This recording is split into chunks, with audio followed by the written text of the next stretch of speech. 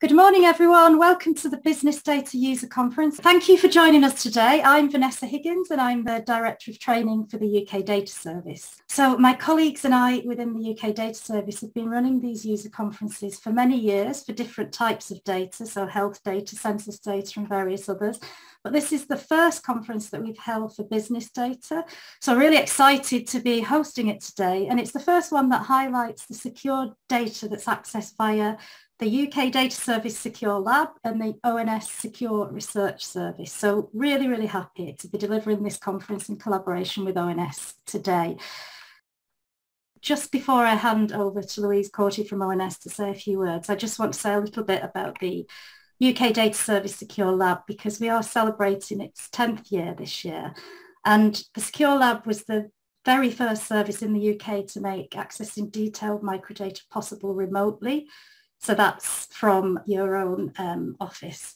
So which of course the ONS Secure Research Service also does that now too. And as we've all experienced recently, remote access has become even more important to the research community during the pandemic. So uh, prior to the remote access, researchers had to travel long distances in order to access the data in safe rooms. So it's wonderful that the Secure Lab and the Secure Research Service at ONS supply this amazing service for researchers and researchers wouldn't be able to do their amazing research if it wasn't for these two services. And you can find out more about becoming an accredited researcher and gaining access to the data sets in the lunchtime brown bag session. So please do attend that if you want to find out more. So that's all I wanted to say. So I'll hand you over to Louise Corti from ONS to say a few words now. Thank you very much, Vanessa. Thank you. Um, I'm Louise Corti. I'm Head of Insights Development and Impact at the Secure Research Service. Um, and I joined in January, um, actually from the UK Data Service. I worked alongside Vanessa as a, one of the directors for 20 years. So really happy to be building on today's fruitful collaboration going forward. Um, it is very exciting. And we're absolutely delighted with the huge interest in our data. Um, we have lots of users, we have lots of projects going the whole time, but having 300 people signed up means we, we really do have, have a great interest. Um, the event today provides an opportunity to showcase um, what unpublished uh, business and economics data we have available and also the opportunities for, for their use. Um, and that's under the legal gateways that we have in place to enable that as Vanessa said, a lunchtime session, if you want to know a bit more about Digital Economy Act and getting your project accredited so, accredited so you can use the data, we have our lunchtime slot where we'll have a short presentation from the Stats Authority and from people from our, our own research environments where um, you, you can hear a little bit and have a chance to ask um, questions yourself. So um, both, as Vanessa says, both ONS and the UK Data Service do host, trust, do host trusted research environments um, that are accredited under the Research Code of Practice and Accreditation under the Digital Economy Act. And that's together with Wales, Scotland and Northern Ireland. We can provide access to hundreds of survey and um, initiative data from central government. Um, and we have thousands, we have around three, three to 4,000 accredited researchers using data um, which which is which is amazing. So in the morning, you're going to hear from um, ONS colleagues about the uh, transformation program for economic and business statistics, and also some updates from some of our most popular surveys. Um, following that, please do stay for the day because we have um, we have an optional lunchtime slot where you can hear more about getting projects accredited, and then straight after lunch we have a panel where we're interviewing um, people from BEIS and ONS about relationships with, with academia, um, how to facilitate research and um, facilitate the dissemination of research findings as well. And following that, we've got three parallel sessions where we have nine speakers who will talk to us around how they've used data, which is wonderful. Um, and I think just to say, I hope you have a really good day. It's a really exciting agenda and thank you very much for, for joining us. Um, I'm now going to hand over to uh, Chris Woods, who's going to be sharing, sharing this morning's session. Thanks very much, Louise and Vanessa. And good morning, everyone. Welcome to our morning session. Uh, I'm Chris Woods and I work at the UK Data Service where I provide support and training to researchers accessing both business and social survey datasets via our secure lab. I've worked at the UK Data Service for just over seven years now, so I've gained a range of expertise in um, the business data sets and also in supporting researchers in linking external business data sets such as FAME to ONS business microdata in the in our Secure Lab facility. I also have a range of experience in secure data access and am chair of the Safe Data Access Professionals Group, which is a UK-wide network of professionals working in organisations that provide secure access to confidential sources of data, such as the, the business data sets. I'm really pleased to be chairing this morning's session where we're focusing on data collection and primary analysis and where we have our keynote presentation. So in that context, I'm delighted to introduce Donna Leong, who's giving the, the keynote today on the Office for National Statistics Economic and Business Statistics Transformation Programme. Donna is the Director of Economics economic statistics change at ONS with responsibility for overseeing the economic statistics transformation programme. Donna also heads up ONS's work on subnational statistics and analysis, levelling up. An experienced senior civil service leader and economist, Donna has previously worked at the Department for Business, Energy and Industrial Strategy, Her Majesty's Treasury and the New Zealand Treasury. She has an MSc in economics from the London School of Economics. So welcome, Donna, and very much looking forward to your presentation. Uh, thanks very much, Chris, and thank you for that introduction. Um, I think um, Heather is going to um, be running the slides, um, so um, we'll just kick off. I think hopefully now you all know who I am. Um, I think we're just going to start off now with a few slides that just show you how um, ONS um, is organised and how economic and business transformation fit into ONS's wider program. So next slide, please. So the, the sort of slogan for ONS is statistics for the public good. Um, we have um, four themes in our work. We wish to be radical, uh, you know, um, in our decisions, um, ambitious in what we do. Um, importantly, we want to be inclusive, recognising the importance of counting everyone um, so that everyone counts, um, and um, sustainable. Uh, and this is particularly, uh, I think, important given where we are in the middle of a spending review through what is obviously will be you know, quite a tough time um, for the public finances. Onus itself um, is divided into these three different groups, um, including data capability, which is, um, I like to think of as the engine room of how ONS works, um, and importantly, um, is the incubator for the integrated data service, which I'm sure lots of you will hopefully be using in the future. Health population and methods, where many of our um, work during the pandemic um, has um, taken place, um, as well as uh, the very successful um, Census 2021, um, which hopefully you will hear more about uh, the outcomes of the census as we start to work through what to actually tell us. And then finally, the group that I work in economic, social, environmental statistics. Um, we've just recently brought together uh, work on macroeconomic statistics um, and public policy analysis. Um, and my group directorate, Economic Statistics Change is a new directorate within ONS that is focused on really driving forward um, the transformation process of economic statistics. Next slide, please. Right, so I think that's just a repeat actually. Right, so going on to um, the ARIES program. Now, why is it called ARIES? Um, it uh, stands for Ambitious Radical Inclusive Economic Statistics. Um, and um, as it says, that's the program for development for economic statistics from 2021-22. Um, uh, the previous economic statistics transformation program, which had a much less catchy acronym, um, came to conclusion in 2021. Um, so ARIES um, is set to oversee the completion of the economic statistics um, change journey, which began, I think, with the Bean Review and the Johnson Review, among others, um, and hopefully will continue into the future. Okay, Next slide, please. Um, and here's our vision. You know, that as experts in our field, we will provide clear, insightful statistics and analysis to inform decision making across the UK in a dynamic, inclusive and sustainable way. Right, next slide, please. So what specifically are we trying to do in terms of economic statistics transformation? I think the first is obviously to make sure that our core economic statistics um, offer, you know, the insights that you need in order to make decisions, including you know, better use of data, um, use of new innovative sources of data like administrative data uh, and improve, improved survey data, but also you know, making available the vast suite of um, uh, different indicators and data to the public through, for example, um, the FAST indicators work.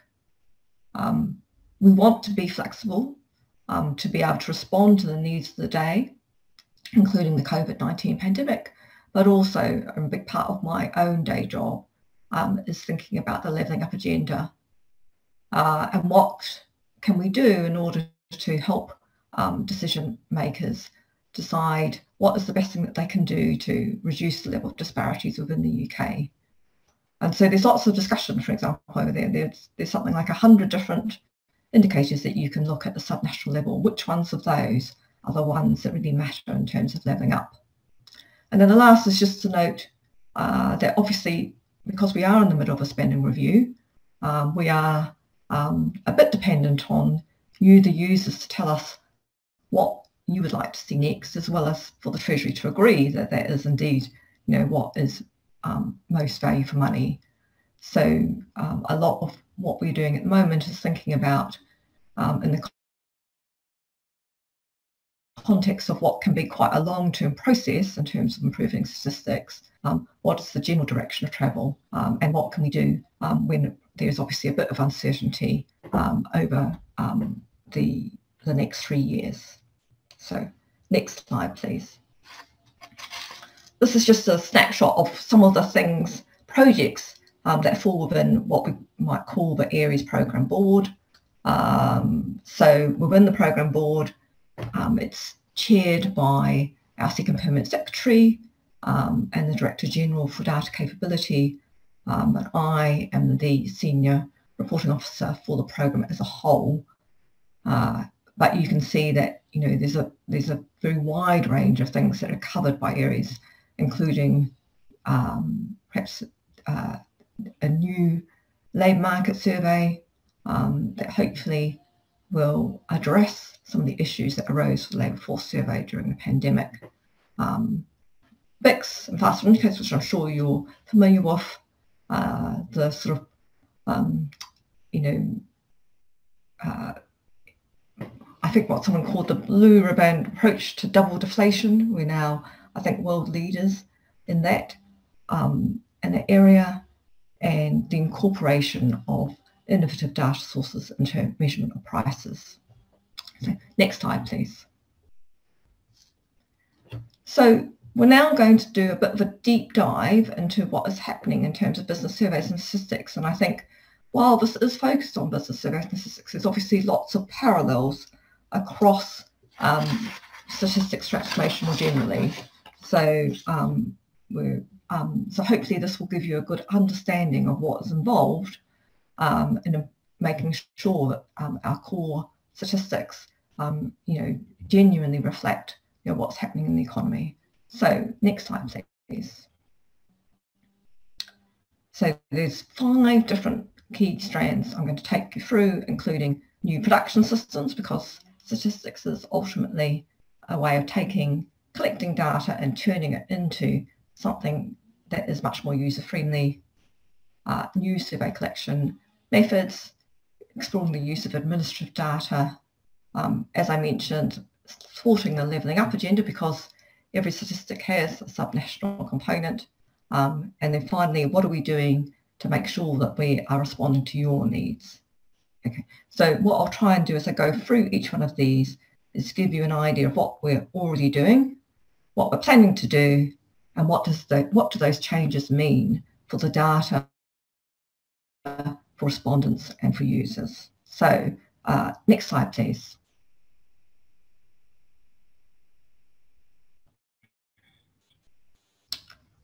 Right, so new production systems. So this is first strand. Um, so one thing to note is that um, ONS has a, a, lot of what we call legacy systems. Um, it's important for efficiency reasons that we move those onto um, much more modern approaches, and in particular developing a new cloud-based platform to enhance our process for producing statistics. Um, and the very first of the short-term business survey, so does retail sales, is moving onto that platform later this year.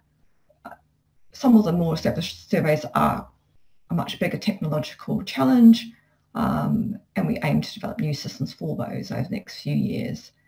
Uh, this is something which is incredibly complicated. Um, so next slide, please. Uh, what does that, what, what should that mean? It should mean that we reduce the risk of error. Um, we have more flexibility, the content of our surveys, and I think, for example, the BICS survey is a good example of that um, because it was built on the new platform and that gives us a lot of flexibility to add things into that survey and evolve and adapt that survey over time. Um, and also, you know, more streamlined production and delivery statistics. Uh, so I will admit that I started, um, you know, my career quite some time ago when, you know, Lotus Notes and Lotus 123 was the um, sort of state of the art um, database. Um, you know, you know, there are still some bits of the organisation that are dependent, for example, on Lotus Notes. So um, we definitely, you know, want to make sure that we're moving off those legacy systems and onto much more modernised systems. Uh, next slide, please. We're also undertaking new survey collection methods. So electronic questionnaires, um, uh, thinking about, um, in, in, particular, the challenges for respondents in terms of completing those questionnaires um, and um, uh, creating different ways in which um, respondents can put their information in um, and then collate that information.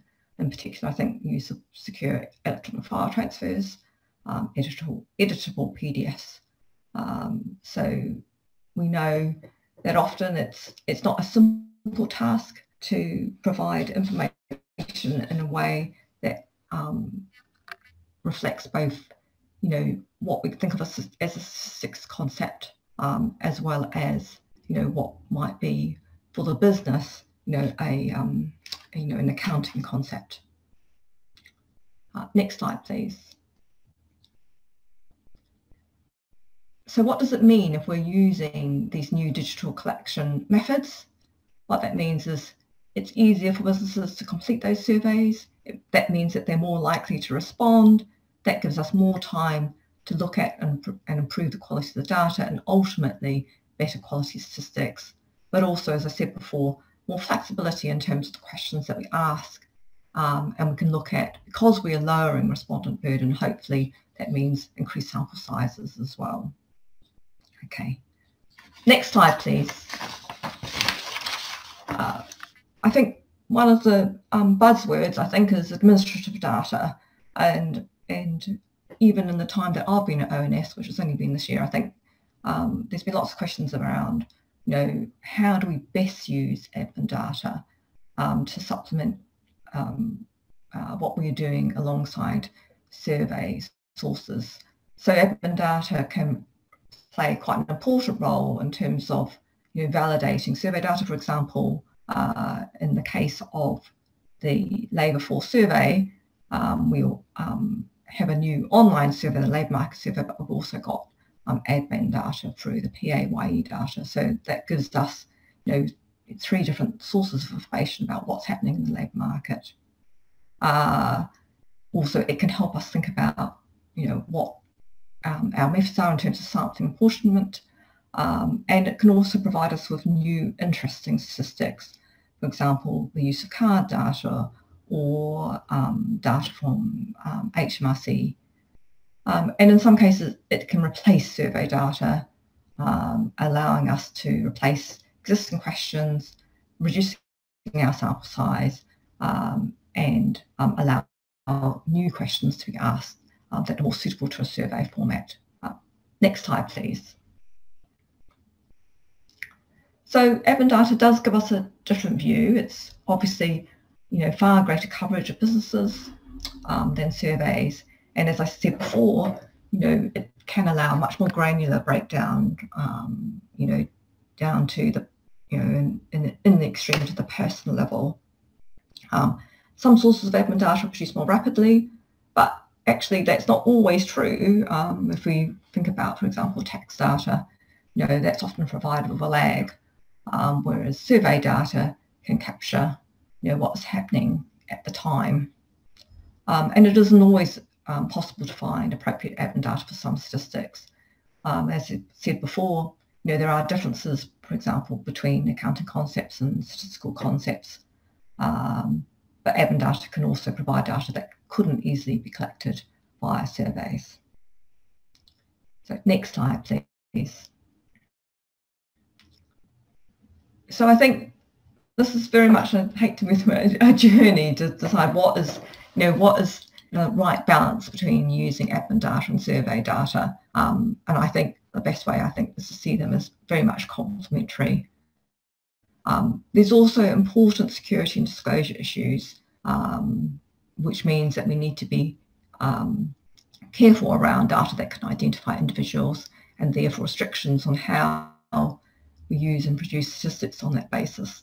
Um, that's obviously got issues for you as users of microdata service um, and then the, as I said before, the integrated data service um, um may allow um, you know, um, looking at a variety of admin sources and survey um, sources and bring them together.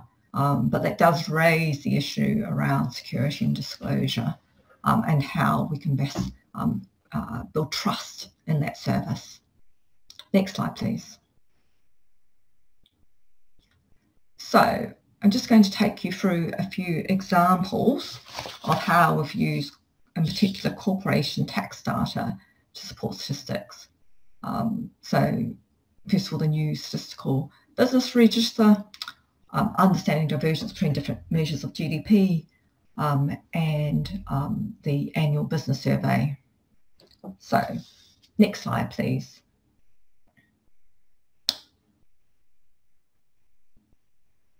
Um, this slide, I, the other thing I mentioned was um, faster indicators. So uh, we are, we, there is a variety of different um, data which you know, we call real-time indicators. Um, and what, what can we best use that data for? I think you know, there's a huge, potentially huge amount of information, whether that's you know, mobility, whether ship visits, uh, traffic camera activity. Um, in my previous role, my boss used to watch the traffic camera on the M20 to see what was happening um, at Dover, um, you know, or Companies House, dis, um, dissolution activity. What can we best use that data for? You know, uh, is it how how closely aligned are these statistics to um, what's actually happening in the economy? And I'm pleased to say that the Economic Statistics Centre of Excellence is undertaking research to help identify what is the predictive power of these real-time indicators and see if we can improve um, their nowcasting capabilities. Um, for example, you know, that might help us, for example, to produce more timely regional GDP estimates. Okay, next slide, please. So, um, aligning with other data sources. So, um, I talked before about um, using HMRC data. So we already have VAT data, um, which underpins our regional and quarterly GDP um, estimates. Um, how can we use that data to supplement faster estimates? Um, and can it help us, you know, think about, you know, new statistics for industries that aren't covered by surveys? Um, tax credits is another source of information, in particular R&D tax credits. I will say though that, you know, it's obviously really dependent on understanding how the tax system works and how people are using the tax system. Um, so, you know, once again, I think, you know, that sort of question mark over whether admin data, how, how is admin data related to you know, economic activity, which is what we're really trying to get at. Next slide, please. And then I talked about levelling up, you know, I've always touched upon this. Um, so what are we trying to do? Um, we're trying, ultimately, I think what we would like to do is offer a service to people so that they could go into a region, think about what are they interested, um, whether that's a particular local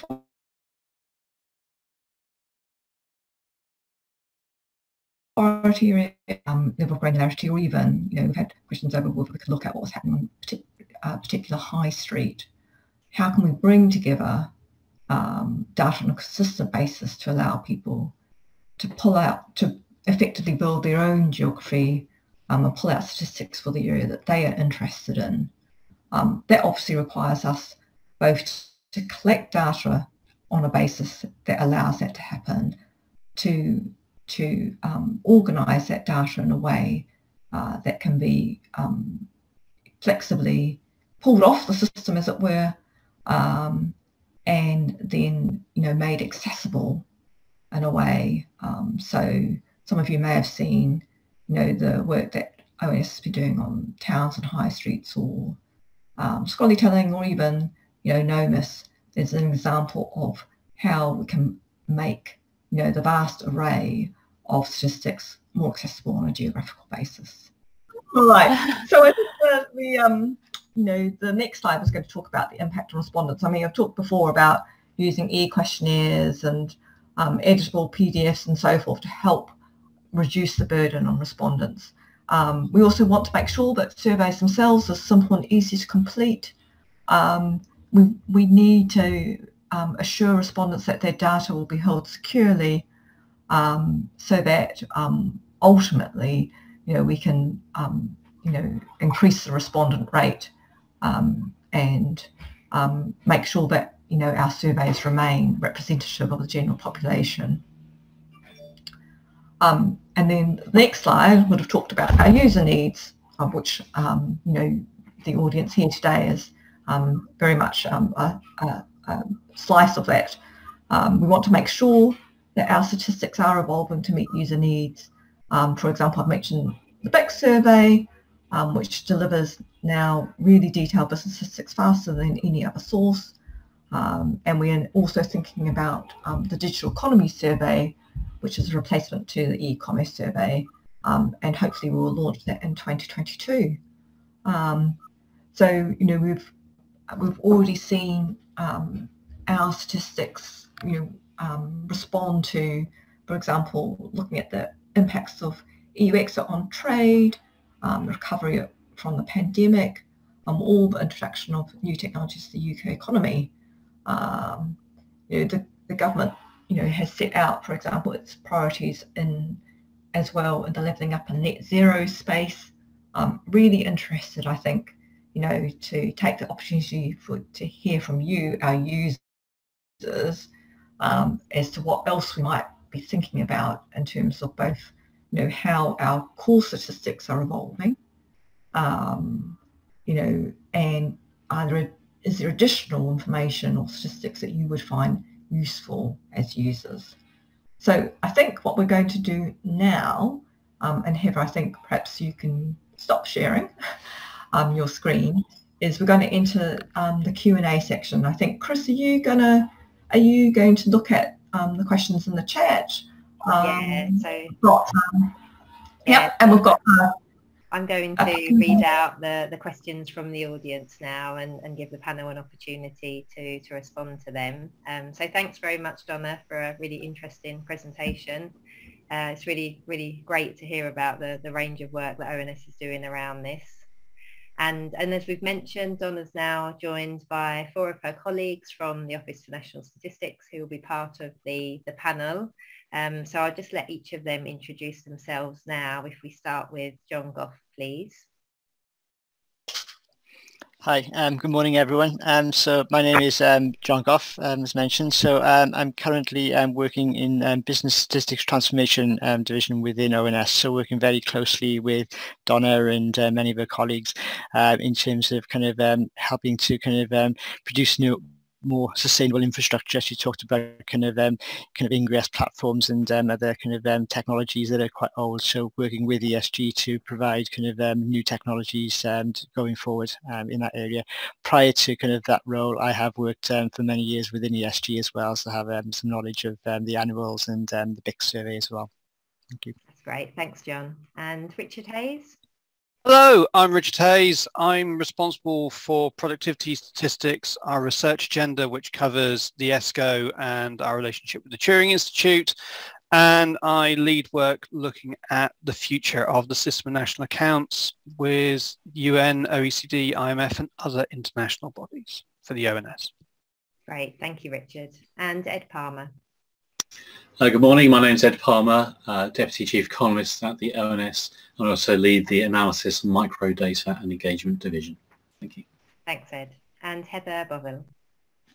Hi, thanks. Yes, I'm Heather Bovill. I'm um, the head of surveys and economic indicators within uh, ONS, which is largely the uh, um, analysis and production of the, the majority of the business surveys that a lot of people on the call will be, uh, be users of, such as the annual business survey and purchases and Prodcom, as well as the short-term surveys such as retail sales and BICS, which we'll hear more about later. Thanks, Heather. Thank you all. So, so I will move over now to the questions and just read these out for the, the panel to answer. So starting with what outcome variables are you using to measure productivity? Which ones are the positive influences on productivity and what is at the moment the relationship between the two? Okay, that sounds like like one for me. Um, so in our productivity suite, we're currently measuring labour productivity. That's our headline measure, and that is GVA divided by hours worked or um, we also have a, a, jobs measure there. So we look at uh, GVA output divided by number of jobs.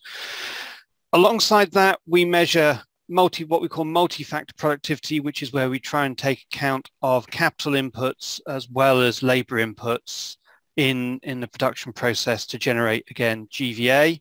Um, it's worth saying our flash estimates, which are the, the fast indicators um, that we produce do use GDP as a proxy for GVA in, in the first instance, but in the main we use GVA. And then finally, we also publish public service productivity numbers, which look exclusively at the public services, those uh, which are delivered by the public sector and those which are purchased by the, the public sector. And again, we look at that in, in the same type of inputs and outputs relationship way. But because um, it, it is very difficult to get estimates of public sector output in market prices because many of them are delivered without a price. You know, health and education are delivered for free. We look at that in a straight output uh, picture. So we also have intermediate consumption in as an input. Um, I hope that answers the question. Thank you. That's great. Thank you, Richard. Um, and our second question is, how are you measuring the introduction of artificial intelligence into UK industry? And do you have any reports or data sources on that issue? So I'll take that one. So um, it, it's quite it's quite a good question actually, and links to what we're going to have a, um, more a presentation on later. Um, obviously, artificial intelligence is of growing interest and something that um, we understand uh, users uh, want to know about. We're in the process of redeveloping our e-commerce survey at, at, the moment, uh, which would be the survey where we we could uh, collect um, that kind of information. And um, so I will, rather than going into the detail of that now, we've got um, a presentation coming up after um, shortly after this with Dan Robinson, who will talk about the e-commerce redevelopment and what that's looking like at the moment. And we can, um, we hopefully that will cover the answer to the question, but uh, if not, we can pick pick that up mm-hmm. afterwards. Just just to add to that, um, on our analytical side, we're working with you to develop a set of digital um, estimates in line with the, uh, the OECD's new digital supply use framework. Um, that should be coming out later this year and will show what we can manage at the moment, but the development of that new survey that Heather's describing, the digital economy survey, really is absolutely essential for us to be able to fully populate those outputs. So hopefully you'll see some progress on that quite soon. That's great, thanks. And uh, yeah, we look forward to hearing from Dan then later on on the, the e-commerce survey. Um, so our next question is around the levelling up agenda. So supporting the levelling up agenda sounds like you are focused on government policy. How do you ensure the fullest possible range of subnational estimates are available, including for those who want to question the performance of government? So I think that one's me. Um, so so I think one one of the, the nice things about indicators and so forth is that you know they are what they are. Um, you know, you know, government may well posit a, a, a particular target. Um, the truth is is that you know the metrics that are important for levelling up are probably will move probably in years rather than in months.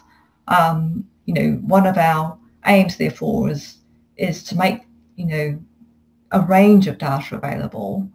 Um, so depending on you know your view about what is the most important thing for levelling up, hopefully what we're doing in ONS is making that data available to everyone um, so they can see and judge for themselves, you know, whether um, you know what what the impact of those policies are having. But I, you know, my my personal belief is is that uh, you know a lot of the trends that we see in terms of regional disparities have emerged over decades.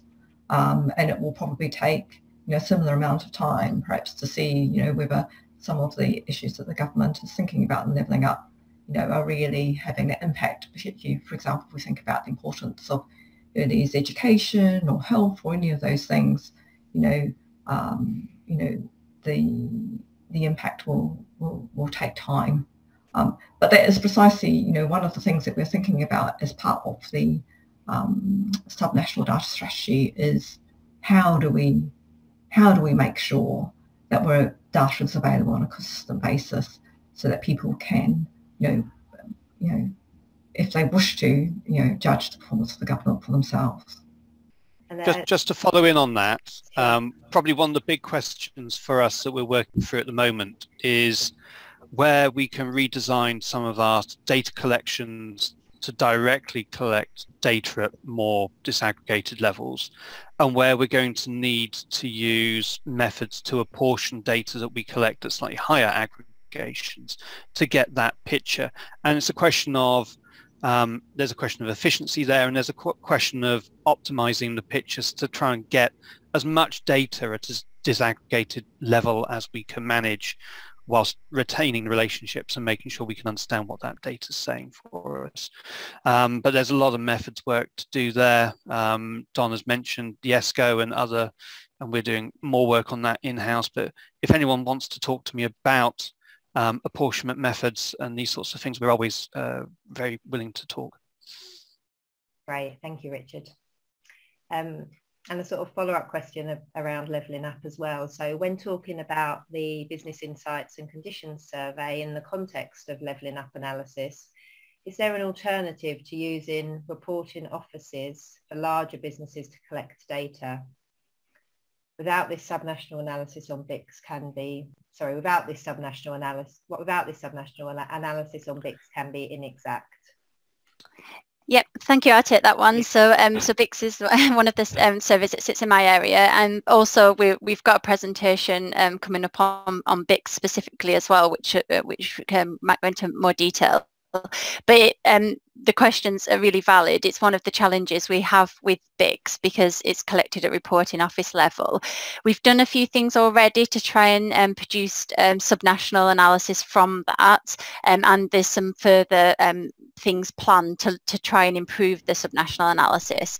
Um, so we've produced a few articles where we've um, just looked at single site businesses to see how they move and how that compares with the all business movement. and similarly, we've taken businesses that have multiple sites and assumed their response um, is is applies across all, all sites. So so we've tried tried to look at the difference between those measures. Um, but as the question sort of indicates, that's not um, an exact um, approach. Um, going forward, Richard mentioned work we're doing to look at whether there's an improved method of apportionment that we could use, and we can look at that in relation to BICS as well.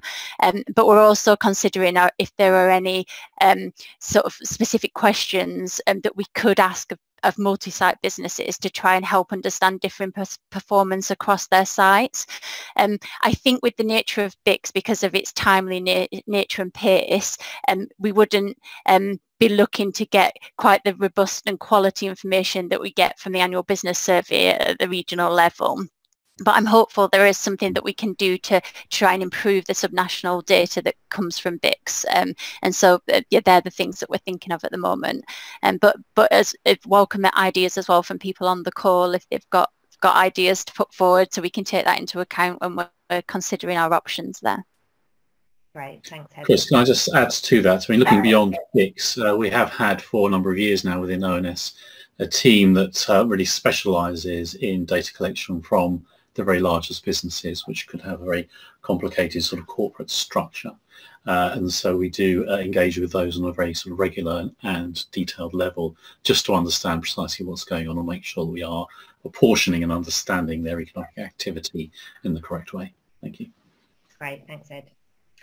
Um, and now a question well, around the census release. So will you be consulting on redefining towns based on built up areas following the census release? Not sure we've got anyone on the call who can answer that one specifically, but we can certainly take this away um, and um, come back to come come back to um, Richard. Yes, okay, that's great. Okay, we'll take that away then, Richard, and, and come back to you following the conference. Okay, so the next question is, what different subnational maps of the UK are used for business data? And how do we ensure that these are consistent and ensure that they correspond to the aims of the levelling up agenda?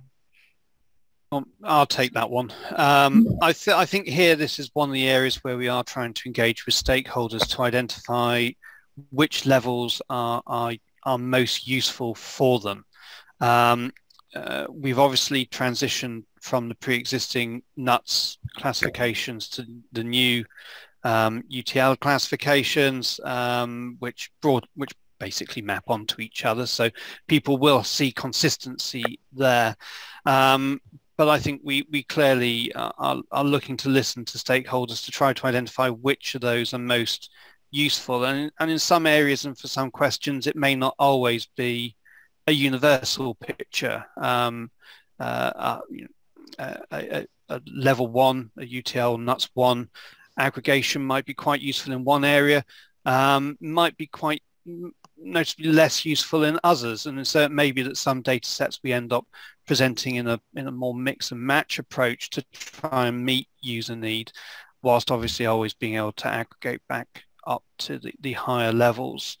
Um, I think also in here, um, there's, as Don has suggested, this is going to be a long-term piece of work where the art of the possible today we hope to very much improve as we move forward. We have an ambitious spending review bid that we've submitted to Treasury in which we're hoping over the next few years to make some significant progress in this area. Um, so hopefully there'll be more to see soon. Great. Thanks, Richard. Um, and now a question around broadband connectivity levels. So which granular data are collected on broadband connectivity levels and with what frequency? Okay, I'll take that. I'll take that one. So, um, until um, the pre-pandemic, the data were collected annually, um, and it was about whether um, households had um, an internet connection, um, and the um, the data in terms of granularity, um, if that's the, sort of looking um, sort of subnationally, went down to regional level. Um, the data came from the opinion survey. Um, the, the, the the opinion survey um, during the pandemic has has naturally um, moved to focus on sort of the pandemic impacts, um, and also what's happened is the mode has changed for that in terms of being collected um, by, on, on, sort of online or, di or, digitally. So what we're doing as part of the review of digital statistics is um, um, trying to identify what the user needs are and where they remain um, and the connectivity point will be is one part of that. Um, looking at alternative sources if it pre-exists anywhere else um, and we know Ofcom have some data um, and then where there are gaps um, trying to consider um, where where they'll be filled going forward given the change in mode and content of, OPN. So so there is data, um, as I said, pre-pandemic, um, but there, there's, an, there's a gap because of the change of focus um, of OPN, but we are looking into um, the, that sort of filling filling that gap and the needs going forward. Um, but we don't have um, a definite plan for that because it's a little bit lagged to the commerce development that I talked about earlier. Okay, thanks Heather. Um, just a note, there's lots of thanks from the, the audience for, for the, the responses to the questions. Um, and the question now, will you be working with private sector? Will you be working with the private sector like Data City using company web page scraping and machine learning to define emerging sectors? Shall I take that one? I mean, we, we are already working with a range of private sector uh, data providers at the moment. Uh, Donna mentioned some of those under her, her presentation, to around our sort of faster indicators suite. But we are working with a number of private sector data providers, also in the sort of financial transactions uh, data area, to understand really at a sort of faster or more granular level what's happening in the economy. And that's been really useful uh, in order to respond rapidly uh, to of government to help them through the last 18 months. But we're also thinking now about, as we emerge from the pandemic, you know, how we can carry on working with those data providers and use the data that they provide us as a complement uh, to all the other things we've been talking about today to help build that better picture of the economy. Um, so certainly any ideas that people have got, uh, and I'll take that one away, uh, would be very welcome, please. You know, lots of folk that we're working with already, and we'd really like to carry on doing that. Thank you. Great, thanks Ed. Um, so a question now around the green agenda. So the green agenda is very much a priority, green jobs, green businesses, etc. But it's difficult to know what that might include and how to measure. How is that being approached? Um, I'll, I'll, pick this one up. So we recently established a, a new environment division um, within the new economic statistics and environment group that's led by Ian Townsend um, and they're working through uh, the set of statistics that they will be generating, analysis that they will be generating. I think uh, this is an area that we are going to be collaborating across our economic and environmental sides quite intensively on, uh, both you know to support COP26, but in the follow-up and afterwards um, to try and get into some of these measures and some of these concepts a bit more. Um, net zero and the recent Dasgupta review both give us um, ways of thinking about this, which are a little bit different to some of our traditional frameworks. So um, uh, there will be a lot of activity in this area over the, over the next couple of years. Great, thank you, Richard.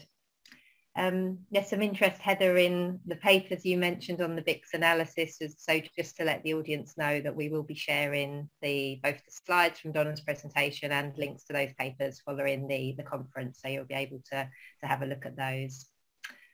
And if there's any more questions. I, I wondered if I could ask a bit about the, the ONS Data Science Campus and, and its role in, in measuring economic activity. Um, I'm happy to start off, but I think others might want to contribute as well. So, um, so I think the Data Science Campus is organised um, in, you know, uh, probably a unique way for the ONS in the sense that they they tend to first think about um, what are issues and where they can apply their expertise. Obviously, collection of um, you know people with many bigger brains than mine anyway to think about um, the application of data science. Um, so they will look for different issues, whether that's, for example, in the levelling up agenda, one of the things that they're looking at is, um, you know, looking at local news sites and whether they can use that to measure sentiment or thinking about um, satellite imagery and does, what does that tell us about economic activity. So they're very much a kind of almost a, a kind of, you know, um, experimental sandbox, as it were, for, for pushing out boundaries of what you can do with data science and how does that apply to economic activity. Um, but they also have you know, quite a, a, sort of important role in terms of supporting work streams like levelling up, for example, um, and um, yeah, and they are. I think they tend to form themselves into what I call squads, where they apply themselves to particular issues, um, and then work with teams within ONS um, and with our um, academic colleagues, um, ESCoE and Turing Institute. Um, so, you know, very much open, I think, to ideas about what what hmm. what could be done in order to um, help um, push the boundaries of, of what we might consider statistics. Um, I have a couple of. Oh, you, you go ahead, Richard.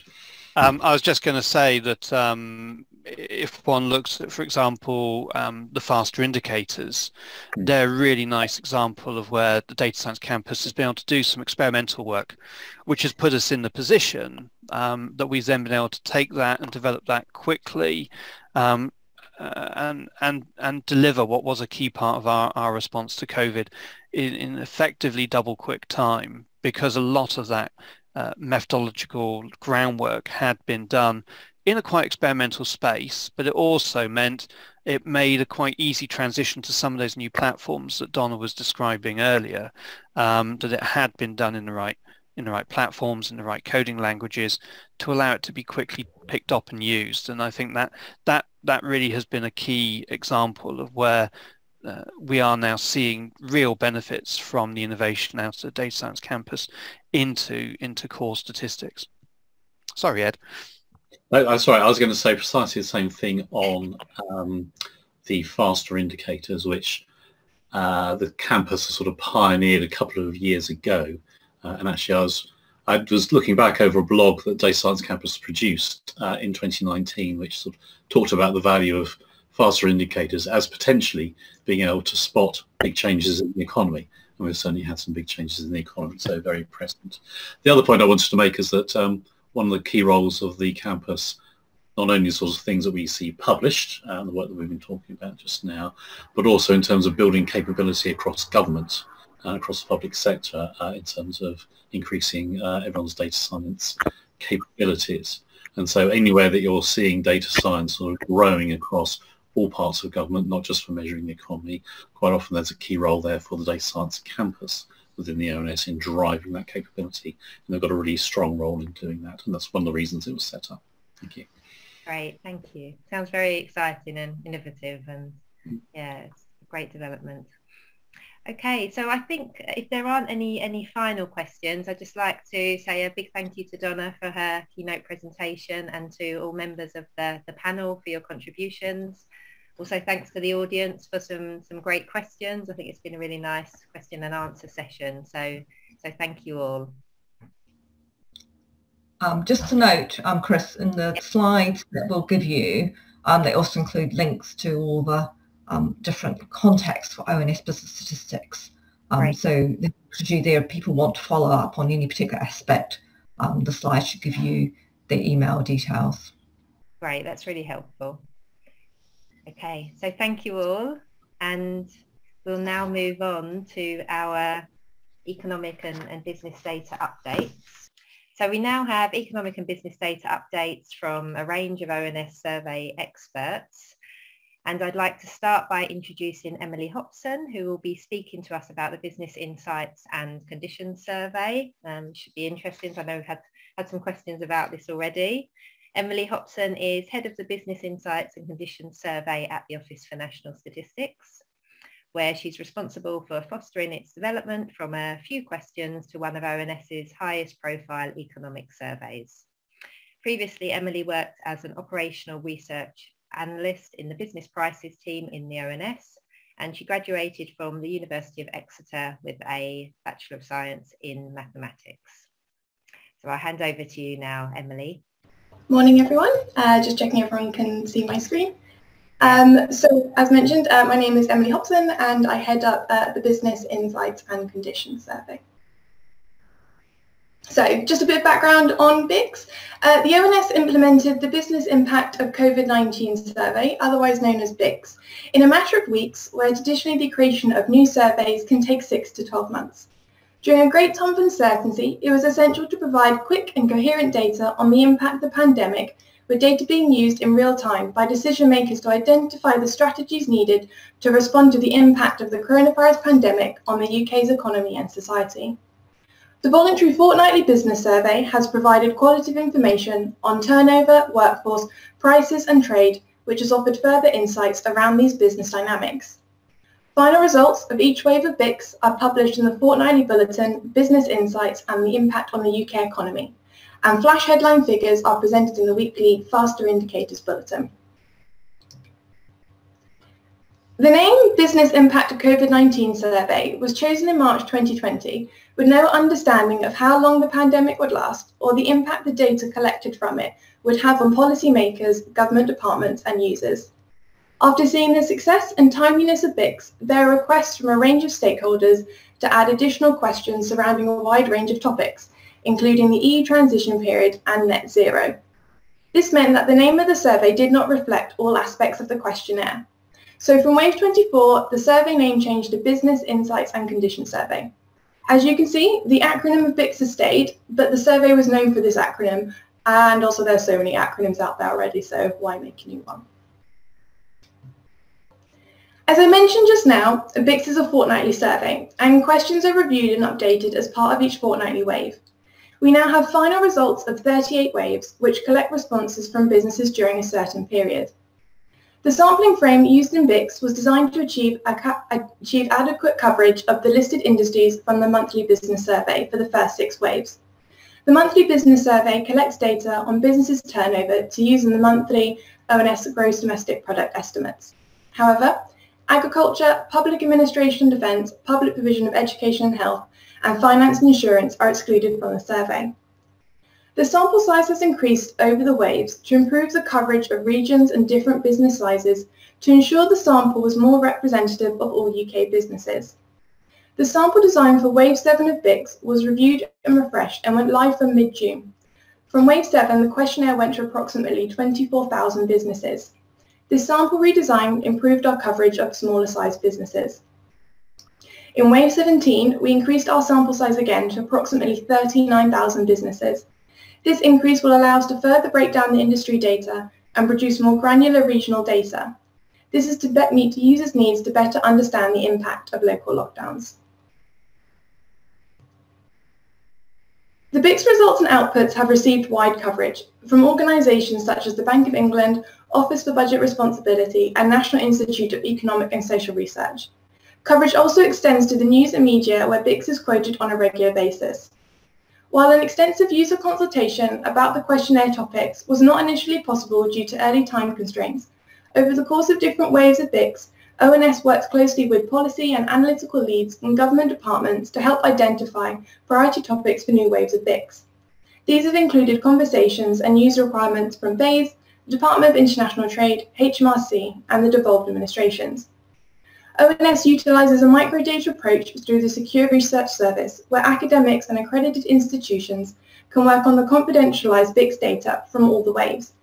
This has allowed detailed policy questions specific to user needs to be addressed in a secure research environment.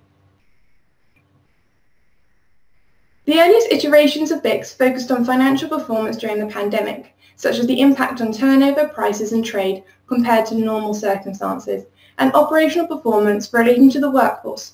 For example, whether workforce size sizes increased or decreased, and what percentage of staff were working remotely or off sick with coronavirus. Questions covered actual performance in the last two weeks and also expected performance in the next two weeks. New questions are added and refined over time. When the UK government announced the introduction of various schemes and initiatives designed to support businesses and the workforce, Questions were developed to capture uptake and issues at the UK level, as well as uptake for each country within the UK. The question bank of all the BICS questions for each wave is publicly available, and with only a two-week window to agree content, design questions, and build and test the survey before it goes live, we've had to adapt our standard questionnaire design process. As the pandemic increased, the need for weighted results has been more critical to provide an estimate of how all businesses have been impacted from the start of the pandemic to date. With weighted results, comparison across waves is feasible, showing how different times during the last 18 months have affected different industries and different sized businesses. Results have three possible weighting methods, weighted by count, turnover, or employment. From wave 13 onwards, publications now include weighted results with imputation and a back series from wave 7 to date. In wave, in wave 37, as part of our regular and ongoing quality assessment of our methods, we introduced improved methodology for the weighting of smaller businesses within the big sample when we use employment and turnover to do so. This has, in the main, not affected our previous findings. We have, though, revised some estimates back to June 2020. BICS has been used for a variety of monthly and quarterly surveys produced by ONS, particularly in the quality assurance stage and assessing impacts between the fortnightly datasets and monthly outputs. The published fortnightly results of BICS are broken down by industry, workforce size and region to incorporate all users' needs. For example, other monthly publications that quote BICS results have included monthly retail sales and construction output. An example of where BICS data matches closely with other sources is the BICS proportion for furloughed estimates. The figure on the right shows the close match between the BICS proportion furlough estimates against the HMRC official furlough scheme statistics. This is despite the fact BICS is published four days just after the survey closes, while the CJRS figures results are provisional up to four weeks after the time period, which is a feature of the claims deadline, but the HMRC results do offer a wide range of breakdowns, for example, local authority, gender and age. BICS were designed to give an indication of the impact of challenges businesses have faced over the last 18 months, and a timelier estimate, estimate than other ONS monthly or quarterly surveys. It is allowed for many different streams of analysis, including longitudinal data analysis following businesses' responses over the weeks, linking to other sources to provide additional insights into businesses, such as the labour market, and to help validate other ONS business surveys and provide supplementary evidence. The BICS microdata from waves 1 to 37 can now be accessed through the Secure Research Service. The BICS microdata from each wave are released on a rolling basis in the week following the publication of each wave. Only researchers accredited under the Digital Economy Act are able to access data on the SRS. You can apply for accreditation through the Research Accreditation Service, but you'll need to have relevant academic or work experience and most successfully attend and complete the SAFE research training. Conduct, to conduct analysis with the microdata from the SRS, a project application must be submitted to the, the Research Accreditation Panel. To access the SRS, you must also work for an organisation with an assured, assured organisational connectivity agreement in place. The SRS data is forwarded onto the, for BICS is forwarded onto the UK data service. And all this information on how to apply is available in our fortnightly BICS bulletin. A few notes and caveats of the BICS microdata available in the SRS. The microdata is made confidential and does not disclose information on any specific business. This means no free text responses are included in the data. From wave 17 onwards, the weights are included in the microdata. However, we're in the process of updating uh, and backdating the employment and turnover weights back to wave 7. The main difference between the microdata and the final published results is it does not include the imputes for responding businesses with 250 plus employees. This means there might be slight differences between results created through the microdata on the SRS and the final published BICS results. So just to summarise, no, BICS has provided... You've just got two minutes left, Emily. I'm thanks. BICS has provided business-led evidence to support both the regular ongoing traditional monthly and quarterly surveys in uh, quality assurance capacity, but has also enabled more timelier estimates of economic activity to form part of the evidence base for high policy pressure decisions. The BICS questionnaire has shown itself to be sustainable over time, and this survey will therefore continue, at least for the short to medium term, therefore continue adapting to the ever-changing economic picture. We continue to explore the potential for further development in BICS and consider what future requirements may be needed by stakeholders. Now open the floor to questions. Thanks very much, Emily. That's really interesting and um, yeah, exciting to see how quickly you were able to respond and, and develop the survey. It's really, really great. Um, so we have some time for, for questions now for Emily. So if you do have any questions, then, then please type them in the, the chat. And I just wondered to start, Emily, if I could ask you a bit about whether there's in, any information in the BICS data set that enable researchers to link the data to other sources of data. So on the SRS um, and in the BICS microdata, there is a variety of um, just basic information around the businesses that respond, whether it's industry, size band, and I think it goes down to four-digit standard industrial classification, um, but it also uh, includes the reporting unit reference, which means it will be allowed to link to other data sources um, such as the IDBR. Yeah, and that's really useful for researchers, isn't it? Being able to, to bring in a whole range of, of business data and, and link them. Um, that's great. So we have a have a question. How might non-government researchers suggest new questions to be included? What's the process for that? Um, to uh, request uh, questions within the BICS um, survey, um, the process is just to drop an email uh, to the BICS um, inbox, which is bics. Um, all question requests are considered um, and we can get in touch whether it is something suitable to include in the survey or not.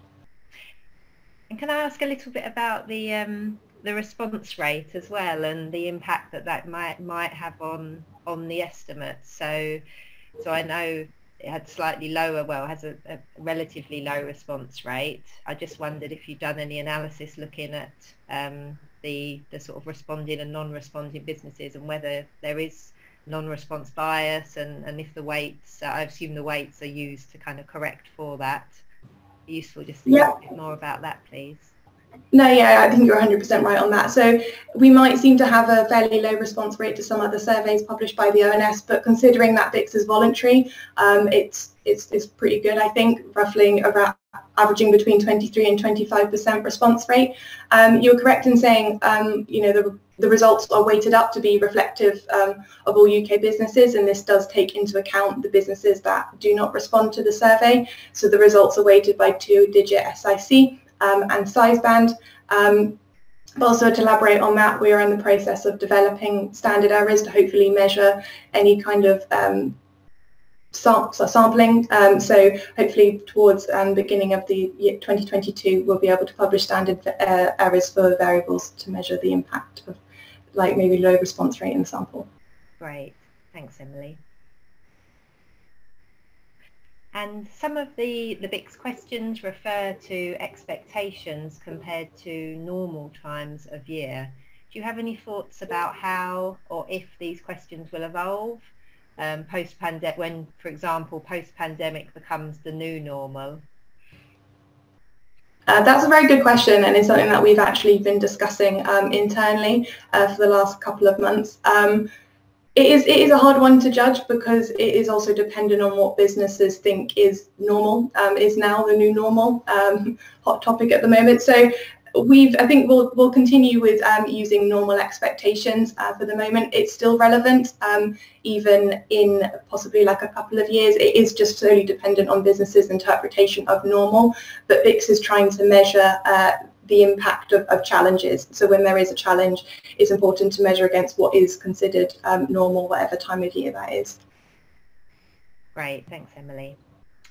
Um, and then a question, can BICS survey information match with other data by ONS, including these secured and controlled ones? Um, so I guess similar to the, the question at the beginning around that. Yeah, so, all, so as, as, I mentioned before, um, the microdata on the SRS um, can be linked to other surveys um, with it, with survey data again on, on the SRS just through linking possibly a reporting unit RU reference number. Great, thanks Emily. Um, and yeah, this is a really interesting question actually. Will BICS continue post-pandemic? Will it now feature as a permanent ONS data source? Um, so mentioned on my last slide, uh, BICS will continue um, in the short to medium term. It has shown itself to be very successful and adaptable, not only collecting data on the pandemic, but on other kind of challenges that have been faced in businesses have faced um, in the last year. So definitely in the short to medium term, yeah. Great, thank you. And a, a nice comment here, congratulations on BICS. and have you created um, time series from any of the questions? For example, yep. question reuse between waves. Yep, no, 100%. So in our published data set, that also goes out with our fortnightly bulletin. Um, all the data available in there is in a time series format. Great, thanks, Emily. Um, and then just one final question. Are you able to speak to any of the analysis that has been completed using the microdata? So any sort of summaries of, of findings or of any of the analysis that's been undertaken to date? Um, I feel like that's come uh, nothing off the top of my head, um, but more than happy if someone would like to know a bit more detail uh, to get in touch via the BICS uh, email address that I mentioned earlier and is on the front of the slides and I can get back to them. That's great. Okay, so just say a big thank you to Emily. It's a really useful and, and interesting presentation. So thanks very much for that. Um, and yeah, we'll we'll we'll provide uh, the details as well if people want to have a look at some of the the analysis that's been undertaken. So thanks again, Emily. Um, and for our second update, we now have um, Daniel Robinson from the Office for National Statistics, who's talking to us about the e-commerce survey. Daniel is head of the Allcome and R&D branch within the Office for National Statistics. He has worked in the ONS for over 20 years and has developed experience in a number of roles covering both business and social surveys, spanning both data collection and results production. Welcome, Dan. Good Morning. Thank you for the introduction. Um, so yeah, as um, mentioned, my name is Dan Robinson and I head the Allcome and R&D branch. Um, so I'm going to talk to you this morning very briefly about our e-commerce survey. Um, it's currently being paused um, and I'll kind of talk about kind of the development work we're doing on e-commerce. Um, so I guess to start a, start a bit with the backstory of e-commerce.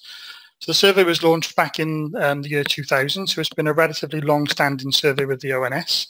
It was launched in sort of um, conjunction with Eurostat. It was a Eurostat-led initiative, and it was kind of launched, kind of capturing the, e-commerce and kind of the adoption of ICT technology across the the EU. Um, so as I mentioned, the purpose was to measure the adoption and use of information and communication technologies within UK with the UK business community. Um, so the definition of e-commerce is uh, and the OECD definition is what we follow, and it's any goods or services that were ordered over the internet or other electronic networks, regardless of payment and delivery methods.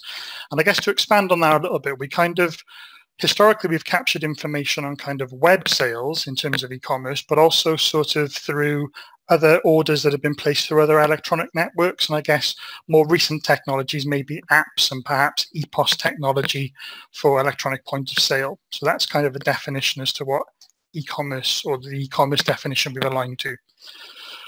So our survey design, um, we've got an annual sample, or we had an annual sample of around about 11,000 UK businesses. And like the majority of all other business surveys in the ONS, we drew a sample from the Interdepartmental Business Register. So this is a business, or it's a sampling framework that we use of all UK businesses that are either VAT or PAYE registered. And there's over 2 million UK businesses on there that we draw our sample from.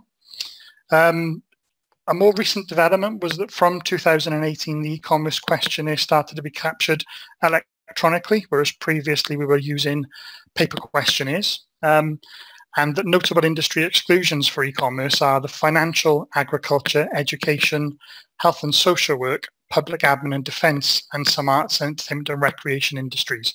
So we don't cover the whole of the UK economy.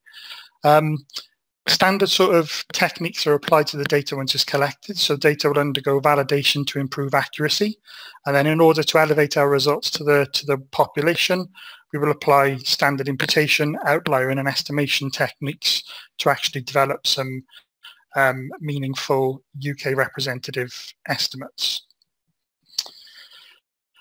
Topics covered. So the the since the inception of e-commerce, the, the topics that we've covered have, have varied year on year. Um, it's been a very fluid questionnaire and given that this is an ever-changing um, space with kind of new technologies being developed, the modules that we've included have changed year on year.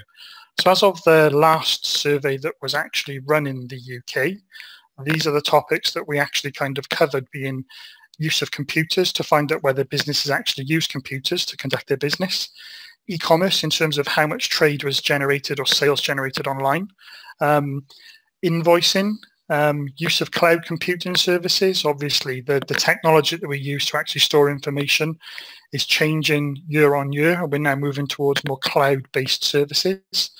Big data analysis, we're trying to find out whether the businesses are purchasing or selling big data in order to develop or improve the services they're um, delivering.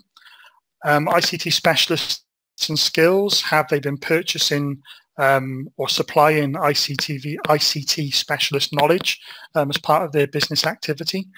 And some of the topics were around the use of 3D printing technologies and the use of robotics in the, their production processes.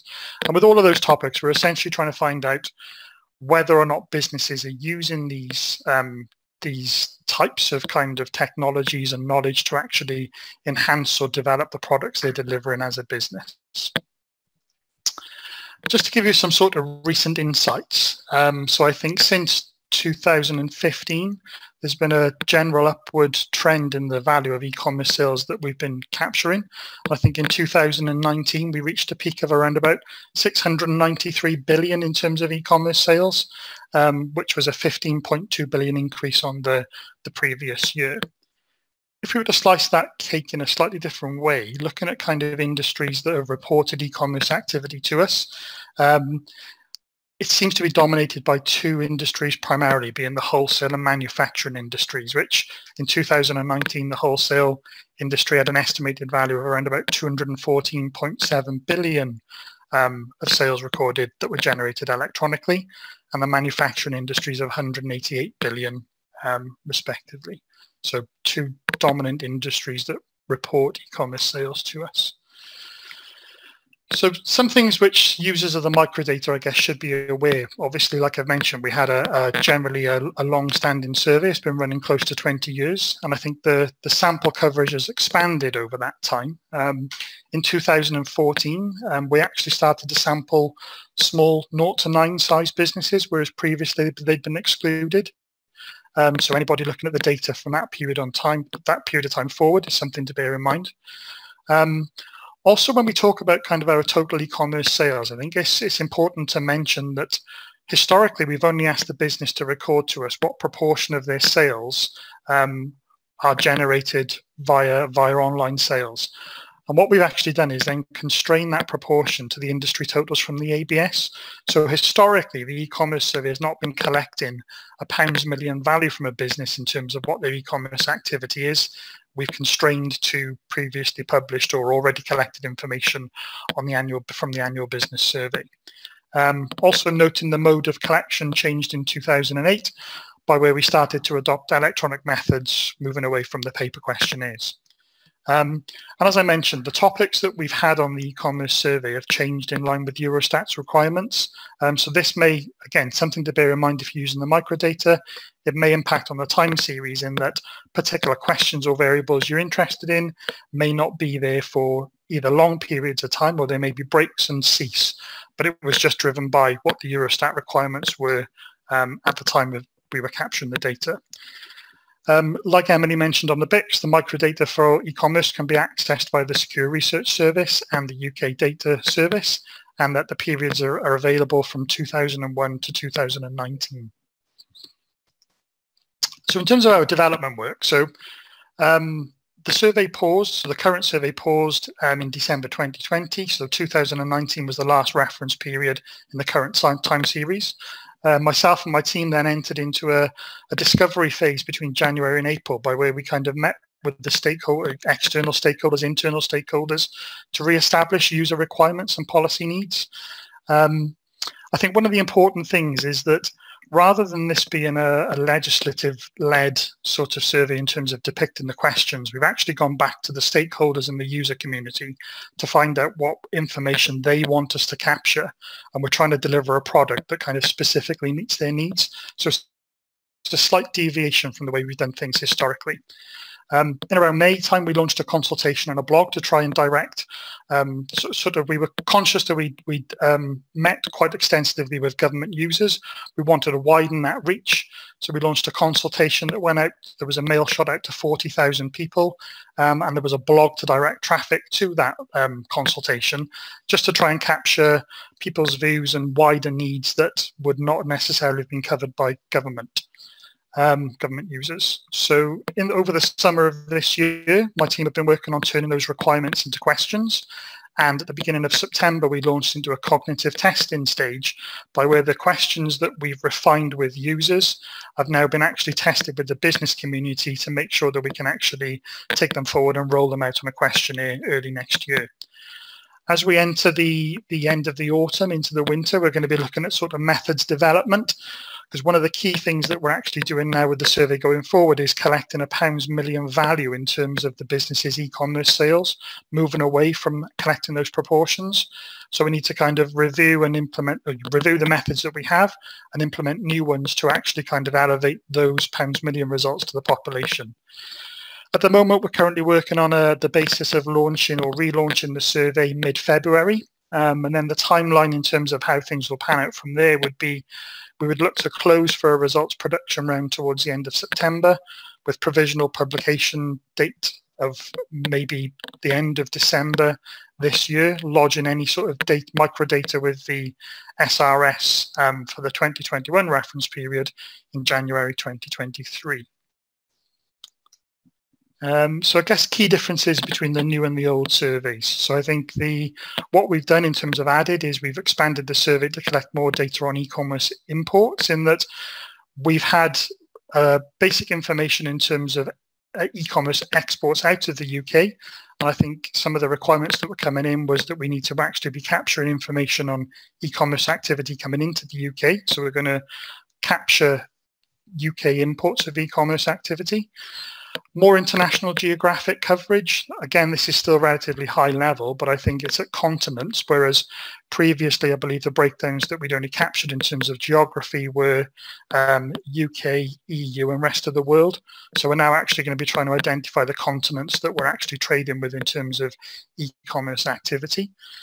I mentioned about the value of e-commerce sales now being recorded by respondents, whereas previously we recorded proportions only and two sort of new topics have actually kind of come in. I say two new. ICT security is being re reintroduced, which I think is essentially the same questions that we had with the Eurostat model, but there's also a, a growing interest in digital intermediary platforms.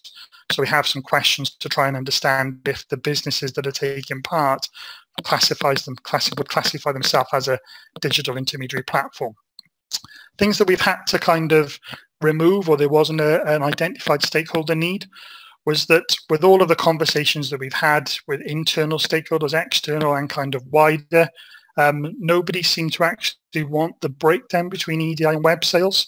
So going forward, we'll just be looking to capture the total only. And some of the topics that we've had to remove because of lack of interest were um, things around kind of invoicing, use of robotics and 3D printing. So next steps Sorry, okay, thank you. That's okay. I think I'm on track. So I think next steps for us are digital trade by nature changes rapidly. The survey will continue to evolve and adapt to meet user needs. So I think one of the things which we've we've actually had the benefit of being able to do from the start is to change the modules on e-commerce in line with kind of as things emerge in this space. And I think the that is a requirement and something we're going to be able to meet going forward is that we can kind of engage with the stakeholder community to capture any sort of new needs they have and look to introduce questions onto the e-commerce questionnaire. Um, look to continue to identify needs and explore other potential sources that impact on wider digital measures. I think something that Heather mentioned earlier on was kind of around about the, you know, e-commerce is just one measure of digital activity and we have some that kind of have actually had to cease because of changes to samples and the way data has been collected. So I think we need to kind of continue explore to explore other sources that may be able to kind of fill the gap from those digital measures that we've lost. And I think one of the more recent developments is that we're looking at the use of credit card data to help build a picture of the digital economy. Um, and then we're going to look to maybe see how perhaps we could dovetail this with e-commerce, initially maybe helping with the quality assurance work on e-commerce primarily. I think that does bring me to the end of my presentation. So happy to take questions. And I think there was one actually kind of um, there initially was kind of linked with the artificial intelligence. I think just, just to pick up on that, um, so that's probably there's an opportunity within the um, the questionnaire, or there's a question on technology, and we're actually looking to ask sort of questions to the business community about what types of technology have helped them to develop their business and may and, and may help them develop it going forward. So there would be an opportunity for them to record artificial intelligence as a as a software or, or, a, or a method that could help them do that. But I think interestingly, some of the key things that were coming from the stakeholder community were more around more around customer relationship management software, so sort of CRM software, and resource planning software, and also online accountancy software. So it's not that there wasn't a need for AI, I think, but there just seemed to be more types of software or technologies that were kind of coming through in terms of needing to understand more about than perhaps artificial intelligence initially. So I think that hopefully that answers the artificial intelligence question we had earlier. Yeah, thanks for that, Dan. And it's really interesting presentation and really nice to hear actually how you've consulted with users and, um, you know, making changes to the, the survey off the back of that. So I think that's, that's really nice feature. Um, so we have a question about EDI sales. So could you explain what EDI sales cover? So I think EDI sales would be anything this this kind of non-website based. So if you should make purchases via an app, I mean, we all use apps these days, and you know, lots of kind of websites have their own apps that you can make actual purchases through, which is not deemed through their website; it's through a, a secondary app. Um, and I think also, you know, thinking about how kind of some businesses work, they may kind of order stock automatically um, there may be kind of systems in place where they can monitor stock levels and generate an order automatically via an electronic means that is not physically through a, a website. So it's kind of um, systems around the periphery, such as apps and perhaps more automated electronic forms of ordering. Great, thanks, Dan. Um, can I ask a question about the, the sort of transfer from the paper questionnaire to electronic forms, which you mentioned. And I know I know Donna spoke about a, a sort of overall move to, to electronic um, surveys going forward. Have you seen a like improvement in the data quality off the back of that, or? I think one of the things that we benefit from electronically is kind of the the, the promptness of the response. Yeah. So I think you know, kind of with with things with with surveys moving to kind of electronic data capture, I think it kind of generates a quicker response, and I think it does kind of build in, allow us to build in kind of more quality assurance and production time. Yeah. Um, I wasn't around with the transition from paper to questionnaire, but there may have been some sort of modal effect in terms of the results. Um, but I don't think there was anything significant in terms of kind of impact of quality from moving paper to to EQ. But obviously, I think that does give us the, the benefit of actually being able to kind of capture data more quickly and kind of perhaps process it and respond in a more prompt manner. Mm-hmm. Yeah, more timely. Um, comment around automated ordering is quite common in manufacturing supply chains. Um, and I wondered as well, Dan, with the with the sample. I know some some sectors were excluded. What was what's the reason for that in terms of the I think we, sample? I think we have a number of um, a number of our ONS surveys don't include all industries. Um, yes as, as commonplace. I think a large one being the, the financial industries. And I think we actually capture information for those industries elsewhere. And I guess with a number of those kind of nuances to those industries, there may be nuances that mean we perhaps shouldn't um, we perhaps shouldn't capture or survey them because their data may be covered elsewhere. So I guess it's trying to perhaps balance kind of um, compliance and um, you know, overburdening businesses, I guess, in certain industries where perhaps we shouldn't be um, capturing them. Yes, yeah, that makes sense. Um, so uh, another question, any data or plan to cover sharing economy or platform economy activities such as Uber and Airbnb?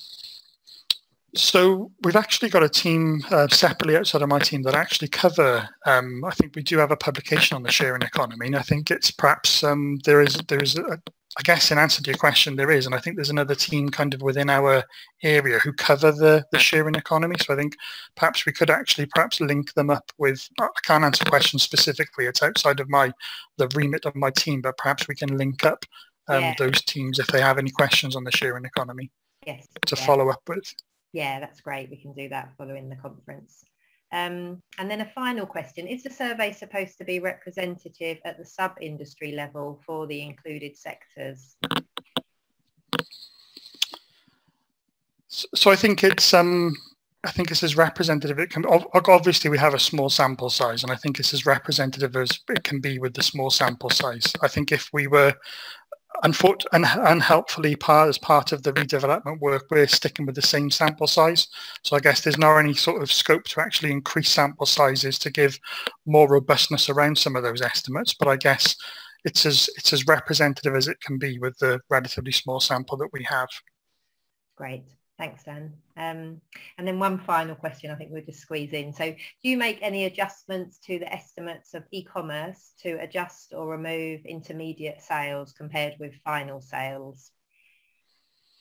No, so I think you know the the the, the each return will kind of go will go through a validation process. Um, some a lot of those validations will go unclean, so they won't actually be looked at by my team. But if, if, if any of the variables in there fail validation, um, they will be kind of checked at source with the business. And so there, there may be actually some changes to the most, um, there may be changes to the microdata at, when the data is validated at source. But in terms of the estimates that kind of fall out of the results production process, then we don't make any adjust any adjustments unless we identify perhaps some anomalies that have slipped through in the validation stages, and we would go back and again correct the data at source with the respondent, um, and then reproduce a set of results. So we wouldn't sort of intervene and make adjustments. Um, so I guess the answer to that is no, we wouldn't. All changes are done um, with the respondent source. Great. Thanks, Dan. So I think that brings us to the end of, of Dan's uh, section then. So thanks again, Dan, for your presentation and, um, and to the audience for the questions as well. That was great. And we're moving Thank on you. now to, um, to hear from Jakob Schneebacker, who's talking about the Management and Expectation Survey. Jakob heads the firm level business dynamism and management practices research at the ONS. Before joining ONS, he was a research fellow in economics at the University of Oxford. So welcome, Jakob. Thank you, Chris. All right, um, I am very happy to be here today to talk about um, perhaps one of the lesser well-known uh, ONS business surveys. Um, so I thought I would um, structure this presentation uh, a little bit like uh, a user guide. I, I, hope this is going to be most useful to this audience, and I've kept the presentation relatively brief um, to allow for ample time for questions. So um, just by way of introduction, um, what is the Management and Expectations Survey? The Management and Expectations Survey is an ESRC-funded uh, collaboration with uh, academics through the Economic Statistics Center of Excellence, um, including, uh, just to name a few, Rebecca Riley at KCL, Paul Mizen at Nottingham, John Van Reenen at the LSE. Um, and uh, in it is a voluntary business, business survey, of which currently two waves exist, capturing three years of data. So that's um, data covering 2016, 2019, and 2020, um, as well as a smaller precursor survey, the management practices survey, um, which uh, captured manufacturing firms only. The management and expectation survey aims to capture firm level evidence of the use of structured management practices and various correlates to allow to, to study um, the role of management um, in anything from innovation to, to productivity. Um, the survey is collected at the reference unit level and as such is easily linkable um, to other ONS ONS business service, and as as all the other surveys um, I think discussed uh, on on this uh, panel of the of the conference is available through the Secure Research Service uh, for accredited researchers. Um, so a little bit of a roadmap for for the rest of this brief talk. Um, I'll give you a bit of an overview of the methodology in particular, what we capture when we say management practices, um, as well as uh, a, a, very brief overview of, of response rates um, and other features of the data. I'll then highlight some of the features that are new in the latest wave of the management and expectation survey. And finally, I'll conclude with some example user cases um, from our own use as ONS uh, to give you to give you an idea of what is possible uh, with this data.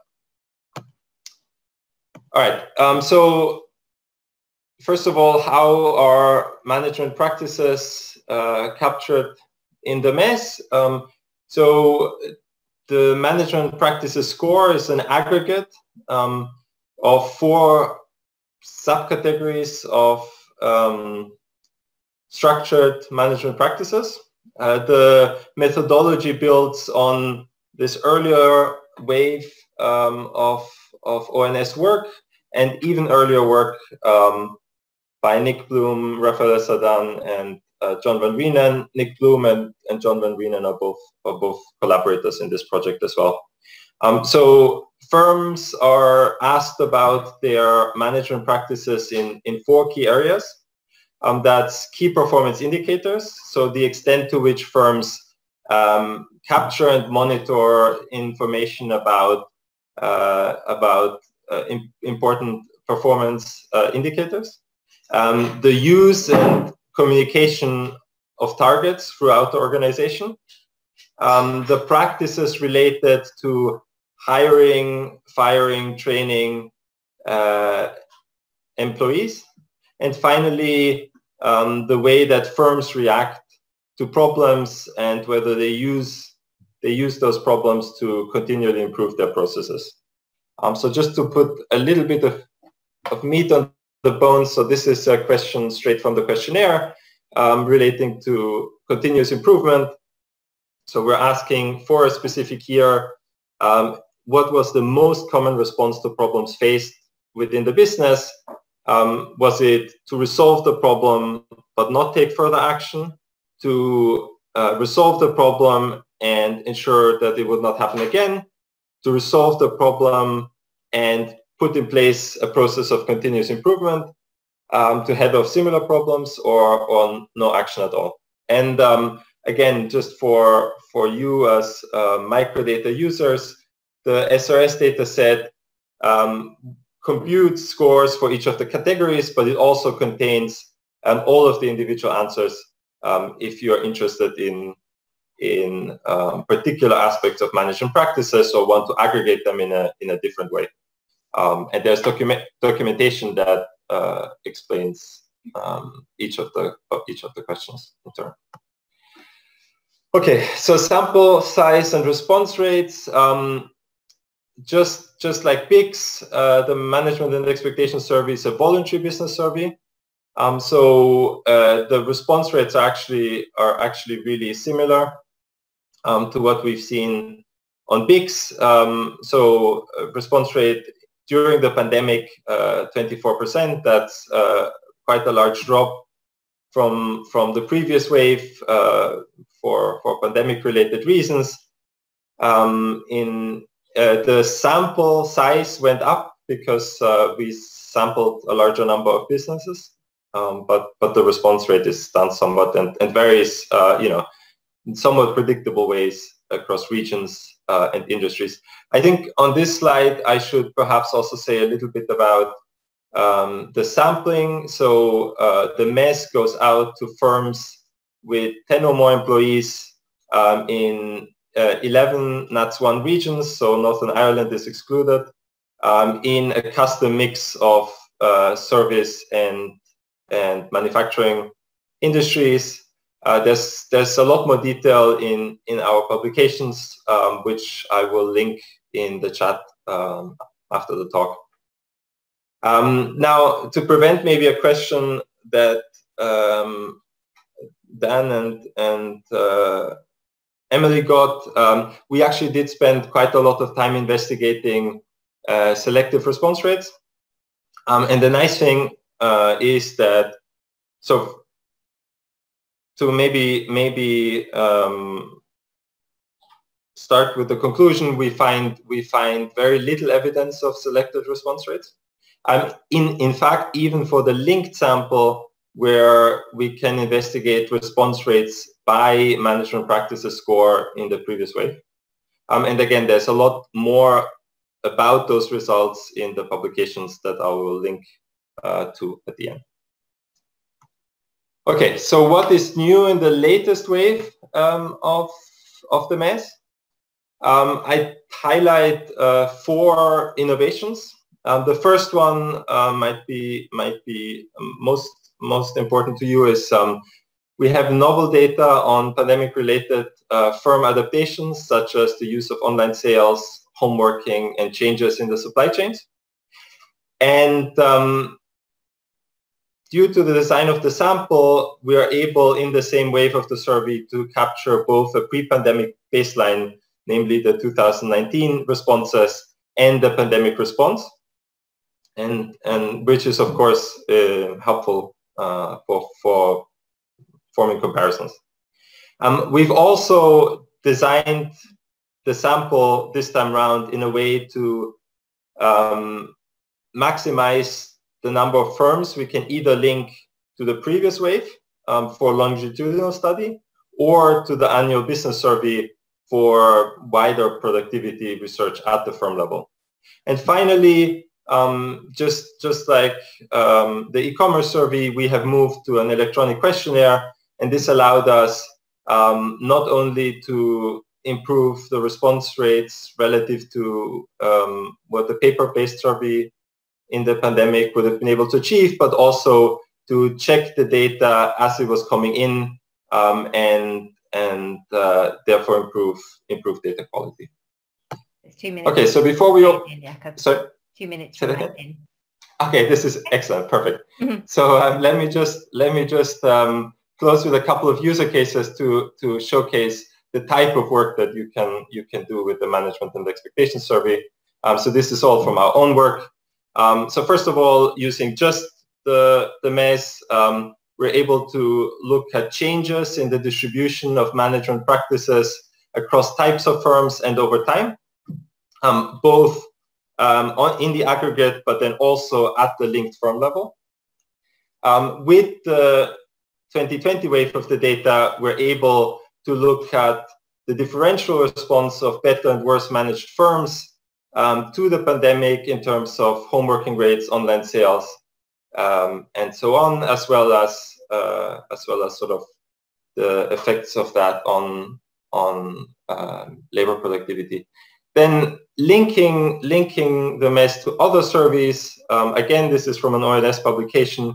Um, we're able to bring productivity, firm level productivity um, to to the table.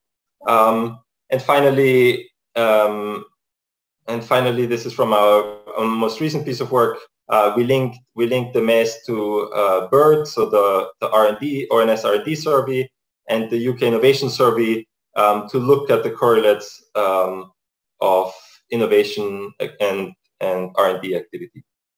So I think here I'll I'll want to open this up to question, but but just to sum up, the MES I think provides uh, really compelling and interesting firm level evidence on management practices and their determinants, including some that aren't captured elsewhere, um, like certain types of ownership structures, um, of firm expectations at the firm and economy level, and organizational choices that we might expect to be correlated with management practices. And importantly for you as microdata users, um, the MES is linkable both over time across the waves, as well as to other business surveys uh, via the reporting unit reference number. And with that, um, I will stop and open the floor to questions. Thanks very much, Jakob. It's really interesting and, and great to hear more about this survey. So our first question is, can you observe any pattern or bias in the falling response rates in the 2020 data, for example, or i.e. regarding geographical, sectoral, or mm -hmm. characteristics like size? Uh, yeah, so that's that's a really good question, and I tried to um, sort of head off that question in my presentation already. So we we can uh, we've uh, tried to predict response rates based on industry and region fixed effects, um, size of the firm, uh, legal form, and turnover, and uh, R squared is really really small. Um, for the linked sample, so firms that were sampled both in 2017 and in the latest wave, we were even able to look at uh, their management practices score in 2017 um, because we thought perhaps worse managed firms were uh, less likely to, to respond to a survey in the pandemic. Um, and again, we're finding, we're finding uh, no strong evidence of that. And can I ask how well the the questions in the survey capture management practices? Mm-hmm. Did you did you test the questions in advance of of rolling mm-hmm. them out? Yes. So um, so of course there was there was cognitive testing, um, but more importantly, uh, the questions in the MES uh, have been used in in a, a, very similar format by Bloom and Van Reenen in other settings, um, including the US. Um, and we know um, both for the UK and for other countries that they correlate well with um, with uh, other measures of firm performance. So I, I think um, that they, they they are a good match. Although of course, uh, you know, it's it's it's always important to take a critical look at your questions yeah. Um, and and see whether they need updating. Mm-hmm. Great, thank you. Um, and a question around what do you mean by organizational organizational choice here?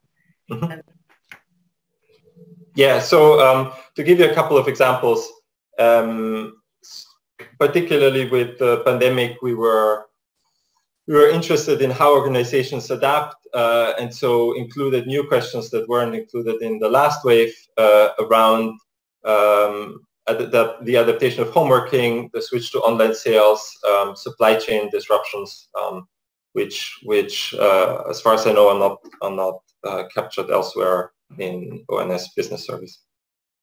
Great, thank you. Except, for the big side, I, I guess. Okay, and then one final survey. Is this in this survey? Is there anything collected to know about business owners and managers in terms of their personal characteristics, such as ethnicity, mm-hmm. education, experience of running businesses, um, etc. Mm-hmm. Um, no, so I think that's that's potentially a bit of a blind spot. We do collect some information on the managers. In particular, we, we ask firms about the share of managers that have a degree. Mm-hmm. Um, and uh, potentially this survey is linkable to other data sources such as companies house data where um, if, if desired somebody could bring in some ownership characteristics, but uh, but they're not they're not in the survey. Yeah, that's a really good suggestion, isn't it, in terms of being able to bring in the external data. Mm-hmm. Okay, great. So I think that brings us to the end then of, of, of that presentation. So thanks very much, Jakob. It's very interesting. Thank and thanks to the audience for your questions too. And then we have our, our final um, update on economic microdata research. I'm very pleased to introduce Tom Wickersham. Tom leads the economic microdata research team at the ONS. The team specialises in developing linked firm level data sets to improve national accounts estimates and for research into business economic performance such as productivity, business dynamism and innovation. Before joining the ONS, Tom worked in various various economist roles in the National Infrastructure Commission and Her Majesty's Treasury. So I hand over to you now, Tom. Thank you very much. Okay, yes, as introduced, I'm one of the leads of the Economic Microdata Research Team here at the Office for National Statistics. Um, so today I'm going to speak about the work that my team have been doing and work that we have in development. Um, this is a bit broader than some of the previous items on specific surveys, so do forgive me if some of it's a bit high level, but I'm happy to sort of discuss more detail in the Q&A afterwards. So just to tell you a little bit about my team, um, our research is quite varied, but a common theme is that we specialize in developing linked data sets um, and typically at the firm level. And then we use these data sets for analysis. Um, so we publish original research ourselves through the ONS website and through the Economic Statistics Centre of Excellence. And then we also um, often deposit those linked data sets on the Secure Research Service for external researchers to use. So just to give a few examples of the kind of research that we've produced over the past couple of years.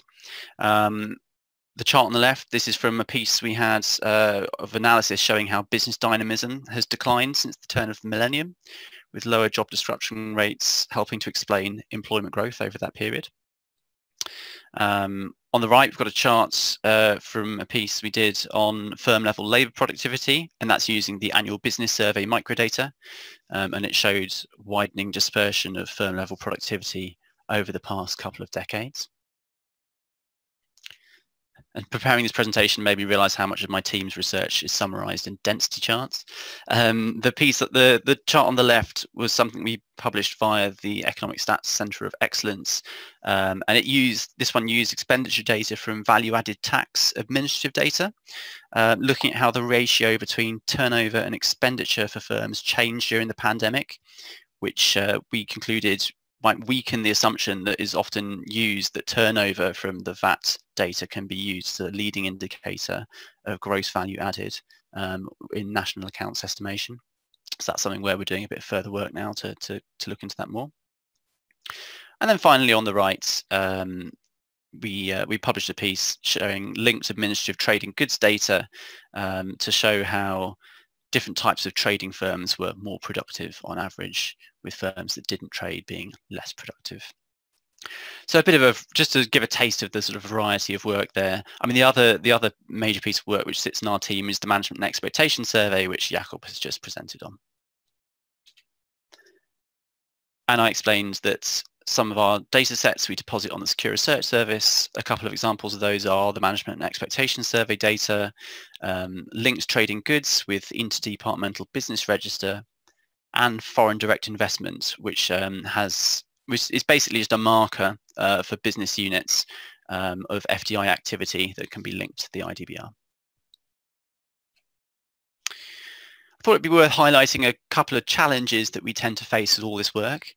Um, the first is where we're using administrative data. So any of you that use administrative data will be well aware that it's not designed for statistical use um, and that leads to plenty of challenges. So that includes getting access to it in the first place, cleaning it, developing the methodology for linking, um, linking that administrative data to the units that we would typically use for business microdata for analysis, such as reporting units and local units.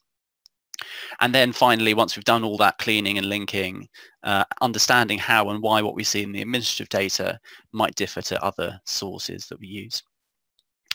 Um, so that's one sort of major area of challenge. I mean, another one, you know, is, is common really, uh, is that we're quite a small team and we need to have this balance between updating some of our past data sets with um, you know, more recent data but also we want to produce new research and data and, and methodology improvements. Um, so we have to sort of trade those things off a bit. So just talk a bit about our, our ongoing and future work, um, go through a, a few projects that we've got in the pipeline. The first I wanted to mention is the Annual Respondents Database, or ARDx, which is a data set of longitudinal business microdata. So this unites the annual business survey data, which I think is from 2008 to the present day, with its predecessor survey, the Annual Business Inquiry uh, from 1994. Um, and an old version of this data set I think already exists on the Secure Research Service, but we want to do various updates to improve it including bug fixes, and improved conversion between the different generations of industry classifications, better documentation for users, and an updated code for generating firm level capital stocks from this data. And we're aiming to get the updated version of this onto the Secure Research Service by January 2022, so over the next few months.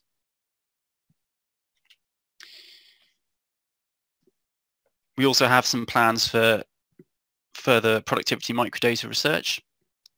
Um, so the first thing we'd like to do is to update that firm level productivity publication using the latest annual business survey from 2019 and alongside it to update the how productive is your business interactive tool in which businesses can plug in their turnover, intermediate consumption and employment to see where they sit in the productivity distribution for their industry. And that's something we've had some requests to update. We'd also like to do further research into firm level capital stocks estimates and firm level multi-factor productivity, um, this will be a bit of longer term work as it's, uh, it's sort of treading new ground, I think, using the kind of data that we have available. We also will continue to contribute to OECD business microdata projects. So for example, Multiprod is one of these projects which produces internationally comparable firm level productivity measures. Um, and the OECD researchers use that to um, publish new research.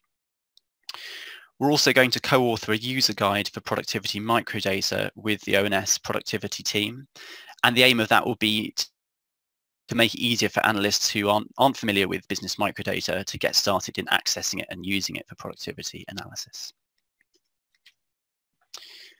The next project I wanted to mention was the longitudinal business database. So the research that I mentioned earlier on business dynamism was based on an early version of this data set. Uh, the database takes quarterly snapshots of the interdepartmental business register and uses them to construct a linked longitudinal spine, if you like, with a near population coverage of UK businesses. And what this spine does is it allows, um, it's, it's, a spine of linked business references, uh, which will then allow other longitudinal business data to be linked onto it. And the expectation is that this database will make it much easier to track active businesses over time in the business data to study things like business dynamism um, and restructuring, so things like mergers and acquisitions, and to study how a firm's productivity varies over its life cycle if we are able to link on the productivity microdata to these um, to this longitudinal business database spine. Um, so we'll use the spine within the ONS to create these data sets, which can then be deposited onto the Secure Research Service. Um, and we also want to update then our previous research on business dynamism. Just finally then, um, I wanted to offer a few thoughts on um, microdata congruence and how it affects the future of firm level data. So actually a big area that our, our team is working on is um, on linking administrative data sources, particularly tax, so things like corporation tax, VAT data, and company balance sheet data from sources such as Companies House, to the more traditional business surveys such as the annual business survey. And the initial aim of this work is to actually improve the national accounts by comparing the information from the administrative data about things like turnover, expenditure and profits to our standard survey inputs for the national accounts and identifying areas where the data sources agree or are congruent or where they might disagree. Uh, so for example, the administrative data might suggest that a survey measure used to estimate GDP on the production approach is overestimating the rate of growth for a particular industry. And then we could recommend an adjustment to how we balance the different measures of GDP uh, for a more accurate estimate. A couple of minutes. The, that's fine. No, a couple of minutes. Thank you. Um, so the national accounts is the, the primary customer for this work, but longer term, this could transform our firm level data too. Um, if we've got administrative data rather than business survey data, it could result in much more comprehensive longitudinal business data. So particularly for the majority of small and medium-sized firms that wouldn't be uh, routinely captured every year in the sampled business surveys. Um, the big caveat here is there's lots of further work to do on accessing the data, developing it, all the things I mentioned earlier around the challenges for admin data work. So this is likely to remain within the ONS for the foreseeable future, uh, but I think there's really big longer term potential here. And that was it. That was uh, um, thank you very much for listening. I'm happy to take questions or uh, my email address is there if anyone wants to contact me afterwards about our microdata work. Thank you. Oh, thank you very much, Tom. It's really, really great to hear. And I know particularly the, the ARDx update sounds very exciting. I know business data users will particularly welcome that. Um, there are some questions, so I'll just go through them then. So the first one actually is around the ARDx. So what period is the updated ARDx coming out in January 22 will be covering? So sorry, which period will it be covering? Um, so I think if I remember correctly, it will go, it will cover 1994, which I think is what the annual business inquiry data that we have goes back to, um, up to, um, it'll either be 2018 or 2019. We haven't had a chance yet to properly look into the 2019 annual business survey microdata. Um, and I know there were some issues uh, around kind of responses, response rates and things. So we'll need to, to quality check that before we um, put it out, uh, put out the microdata, but hopefully that's what we'll update it to. Great, thanks Tom. And when do you expect to publish the productivity microdata user guide? Is this something in the pipeline for this year? Uh, again, yeah, I think that's something it's probably over the next few months. I imagine we'll do an initial version and then you know add to it based on feedback from users. Um, so I perhaps wouldn't hold us to the end of this year uh, because it, we probably need to, to, to, to, sort of plan some of the detail a bit, but um, certainly over the next few months again. Great, thanks, Tom. Um, and a question around whether the, the longitudinal database is available on the SRS. Yeah, so as I was trying to explain, um, the the the spine, if you like, that has all the kind of connected references will probably, at least for the time being, have to stay within the ONS because it will contain. Um, I, it'll probably be contain. Um, it'll be difficult to publish with some like disclosive information. Um, but what we'll aim to do then is use that to construct various linked data sets that would be of interest to microdata users that we could then deposit onto the secure research service. Um, and uh, I think you know we'll, we'll, aim to do that probably like in the first half of next year to start having some data from that available to users. Uh, we're still kind of working on the engineering, if you like, of the, the various linking that's that needs to happen for that to be produced. Great, thank you, Tom. Um, and a question around what is the scope or limitation to linking productivity microdata with R&D data in BERD? Um, difficult to say without understanding a little bit more of the context of what the research question is. I mean, I think just in terms of the practicalities, so far as I know, it's possible to do using the kind of standard you know business reporting units and things um, and I'm pretty sure because I mean as Jakob mentioned um, we published some research recently uh, that linked management practices to innovation practices and that involved linking the management expectation survey to data from BERD, the research and development survey. So um, it's definitely possible and we've produced research using the results um, and uh, you know I'm sure if, if um, they want to get in touch we could provide a bit more information on how to do that. Yeah, that's great. Thank you, Tom. Yeah, so to, to Mehmet, if you wanted to, then we can follow that up with, with Tom afterwards. Um, and then a question, to what extent is sector-based productivity analysis viable in the productivity microdata? Um, again, it's not quite clear what they mean by viable, but um, there's all, you know, the, the, the productivity microdata has um, all the different reporting units classified by their um, SIC code for industry classifications.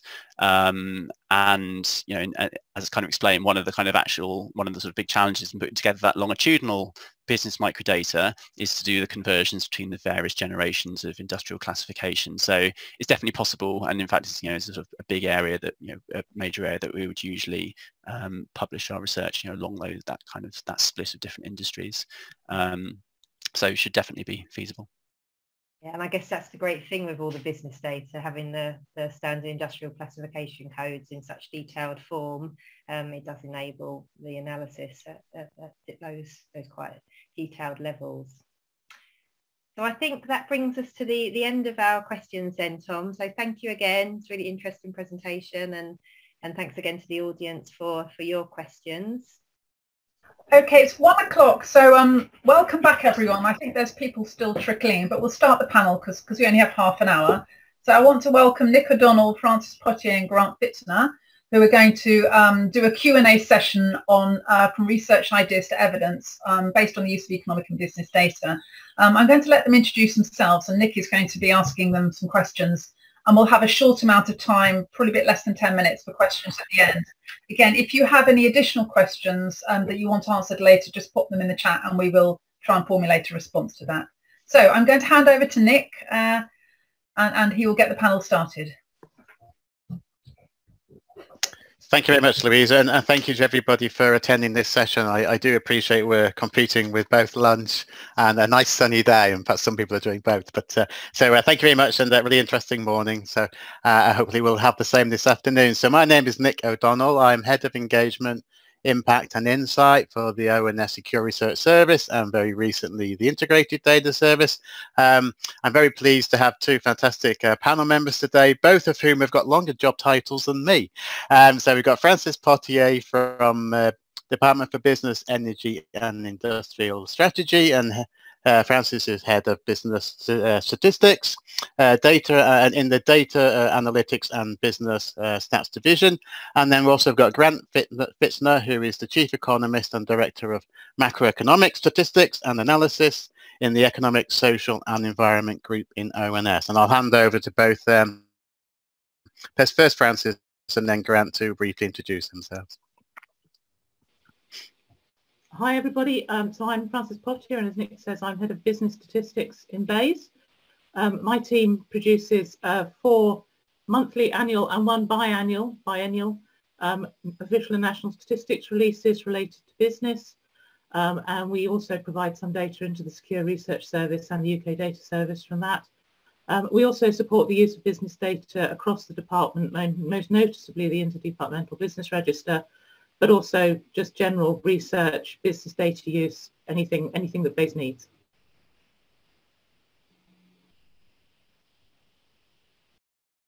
Hi, uh, and I'm Grant Thank you, Francis. And, and, Grant, please. Yeah, sorry. Um, Grant Fitzner, Chief Economist and Director of Macro Statistics. I'm one of four directors in the uh, recently announced Economic, Social and Environmental Group in ONS, which accounts for um, pretty much everything except census, population statistics and migration um, at the ONS, so about 80 to 90% of what you see on our website. Thank you very much, Grant. And so I'm um, I'm going to start with um, questions. I've got three questions for, for initially Francis, and then I'll move on to Grant. And then there's time, as Louise said, for uh, questions from the audience to ask. So please do uh, record those in the in the chat, and then we'll uh, work through those um, following the initial round of questions. But also, just before I, I uh, ask Francis, I also wanted to just uh, say the uh, the theme of this session is really one that's very close to my heart. We do an awful lot of work with researchers and policymakers, data owners in terms of really trying to showcase the value of the research that takes place and, and how it informs and provides the evidence for policymaking, service delivery, improve understanding of the economy and society. So um, something that's I think is really important to make sure that we really realize the, the benefits of the, the fantastic research that takes place. So um, with that engagement and perhaps in mind for the research community, my first question for Francis is how does BEIS currently engage with the research community, please? Uh, thanks, Nick. Um, so we have a, a, range of ways in which we engage with the research community. Uh, uh, the first and probably the most substantial is that we directly procure a lot of research ourselves. Um, so the latest figure I could find was over 15 million pounds a year on external research. Now that's not just business, that also is the energy and climate change and labour market elements of the department. Um, but it's it's it's a lot of different projects, um, and that covers just a wide range of things. Um, large-scale regular surveys. So my team, for example, procures a longitudinal small business survey every year, um, but also small-scale qualitative work, one-off surveys, literature reviews, just a whole range of stuff. Um, so that's that's a big part of it.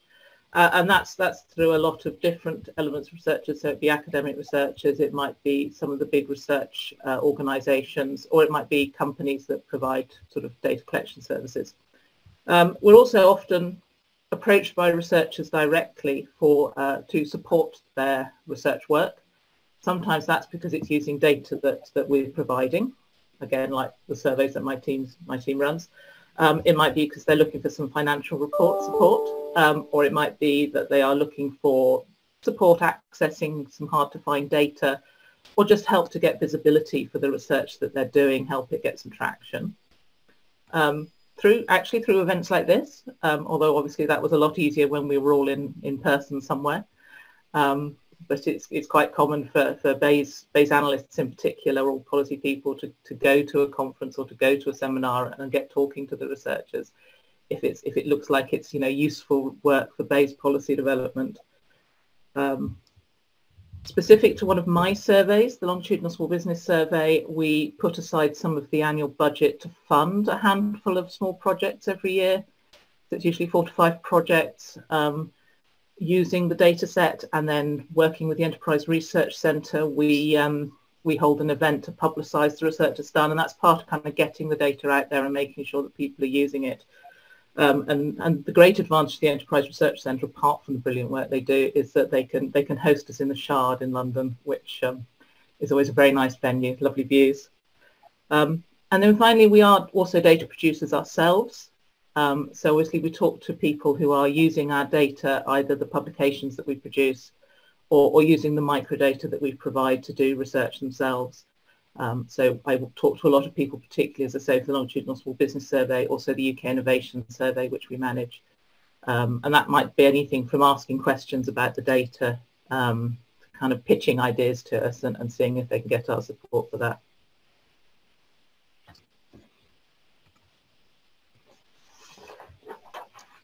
Now, thank you, Francis. You mentioned a couple of data sets there, UKIS and the uh, Longitudinal Small uh, Business Service. Uh, I mean, maybe perhaps you can expand on those and other types of secure data that BEIS you or find particularly I think Nick's frozen. I think what he was saying is, could you tell us a little bit more about the innovation survey and small business survey, maybe? Yeah.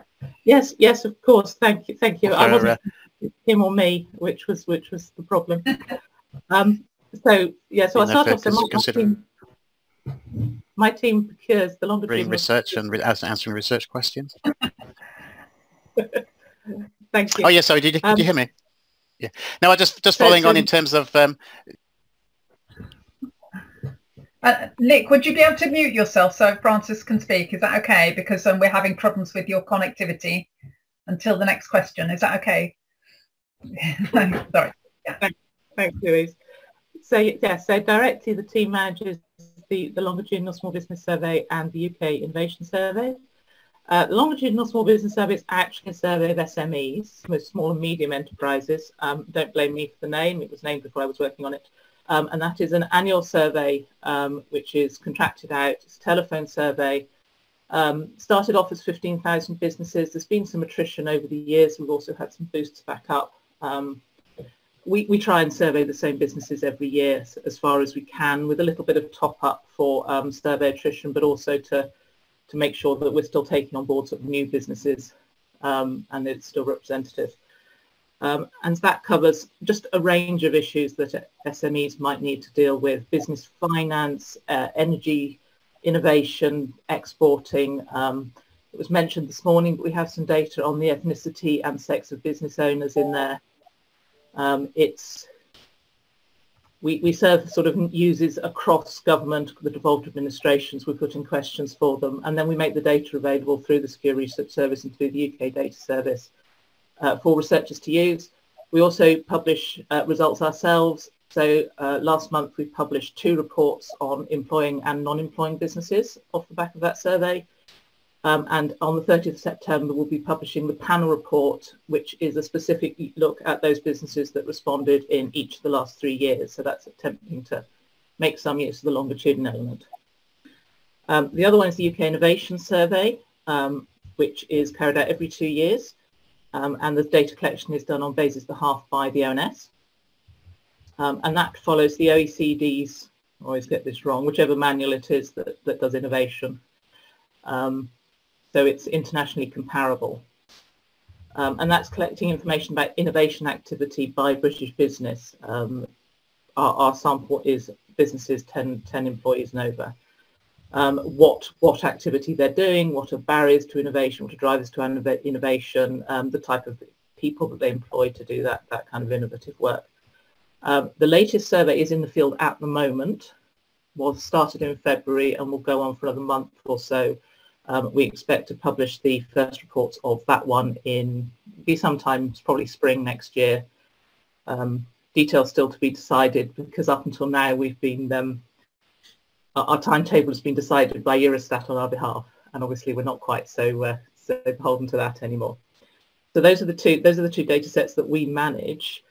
Otherwise, we make a lot of use of the interdepartmental business register um, which is also available as the business structure database through the data services.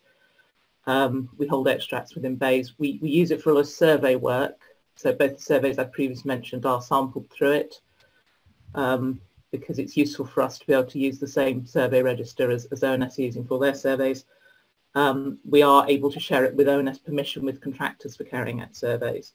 Um, but we also use it for analysis for things like identifying control groups. If you're, if you're trying to evaluate the impact of an intervention, it's useful to be able to identify a control group for that sort of thing.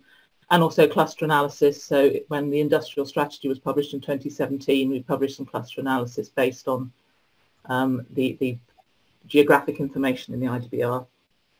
Um, and finally, we, we make use also of microdata, all the other ONS business microdata, um, annual business survey, annual purchase survey, um, business enterprise R&D, all of them. Um, we're, we're, very interested, obviously, in R&D innovation as part of the department's policy objectives, um, but we're also looking at supply chains, we're looking at energy consumption, uh, we're looking at domestic production, comparing it to um, trade data, and we're very interested in productivity as well.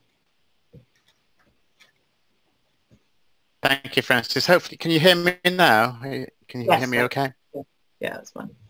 Yeah. Okay. Thank, thank you. Thank you very much. That's very comprehensive and really interesting, and the, the wide, you know, use and diversity there from the, the from the data. So, final question, really, for me: um, Are there any particular aims, or perhaps you know, things, areas of research interest that you would like uh, research to answer through the use of business data, please?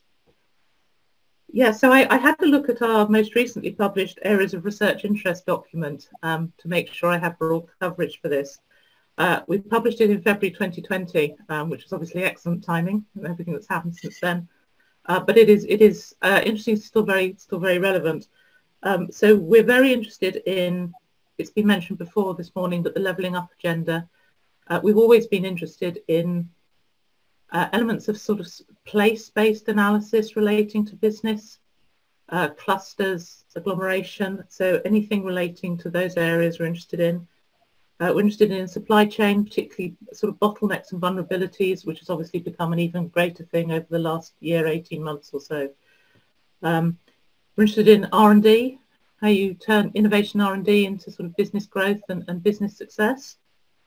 Um, and we're also interested in things like business perception of regulation, um, what they think of, what businesses think of the policies that we're, that we're putting out and how successful they are. Uh, thank you, Francis. That was that was really informative. And again, you know, I, have been scribbling everything down there because um, as colleagues on the call on the call who uh, manage our impact insight work, you know, it's, it's, it's so valuable for us to, to understand how it's, uh, how the data, how that research subsequently uh, translates into uh, policy or, or service delivery. So um, perhaps if I, if I can move on, let's move on to Grant, and, and thank you, Francis. Um, in terms of, I'm going to ask the same question of Grant. So are, are, there any particular aims that, that you would like research to, to help answer through the, through the use of business data? Um, well, many. How long have you got, Nick? You know, um, let me run through a list of kind of things we're working on, we're currently doing, or we plan to work on, or we would love to engage with uh, colleagues on the call on. Um, I, th- I, think the starting point, though, is, uh, as with the Department for Business and other parts of government, obviously um, we're looking to be aligned with the government's top priorities. And in case you're wondering what those are at the moment, um, you may have heard that net zero and levelling up are the top two priorities, and certainly we're doing work uh, on both of those areas in terms of subnational data statistics analysis and net zero and broader environmental issues. Um, on so-called Global Britain, um, we're certainly doing some work on trade and we will be looking to do more. And then there's a whole issue around recovery from the current pandemic and recession and the impact that that has had or will have as well. And I'd say there's a particular focus at the moment on subnational research and analysis. Um, there'll be a white paper published by the Cabinet Office uh, later this year around the time of the budget.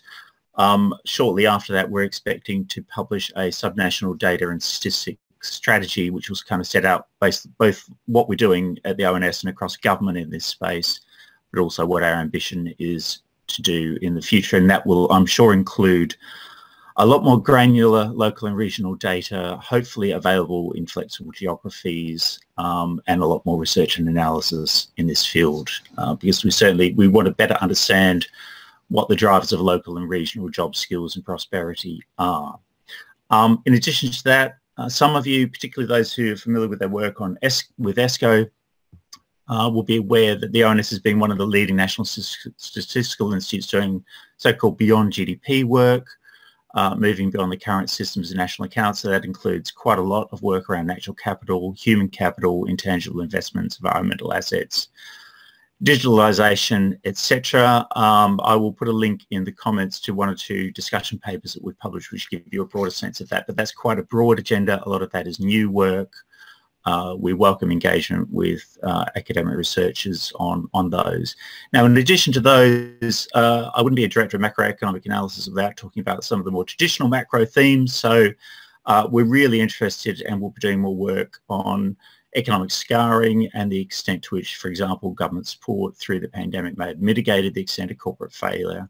Uh, we're also relating to that um, the extent of structural transformation in the economy uh, that we are likely to see as a result of the pandemic and the recession. Now, of course, um, some of those questions we would need to wait a year or two until we have more up-to-date data before we can really start to, to um, analyze those. But nonetheless, those are kind of medium-term research questions where I think um, there's a lot of opportunity to do some really interesting work.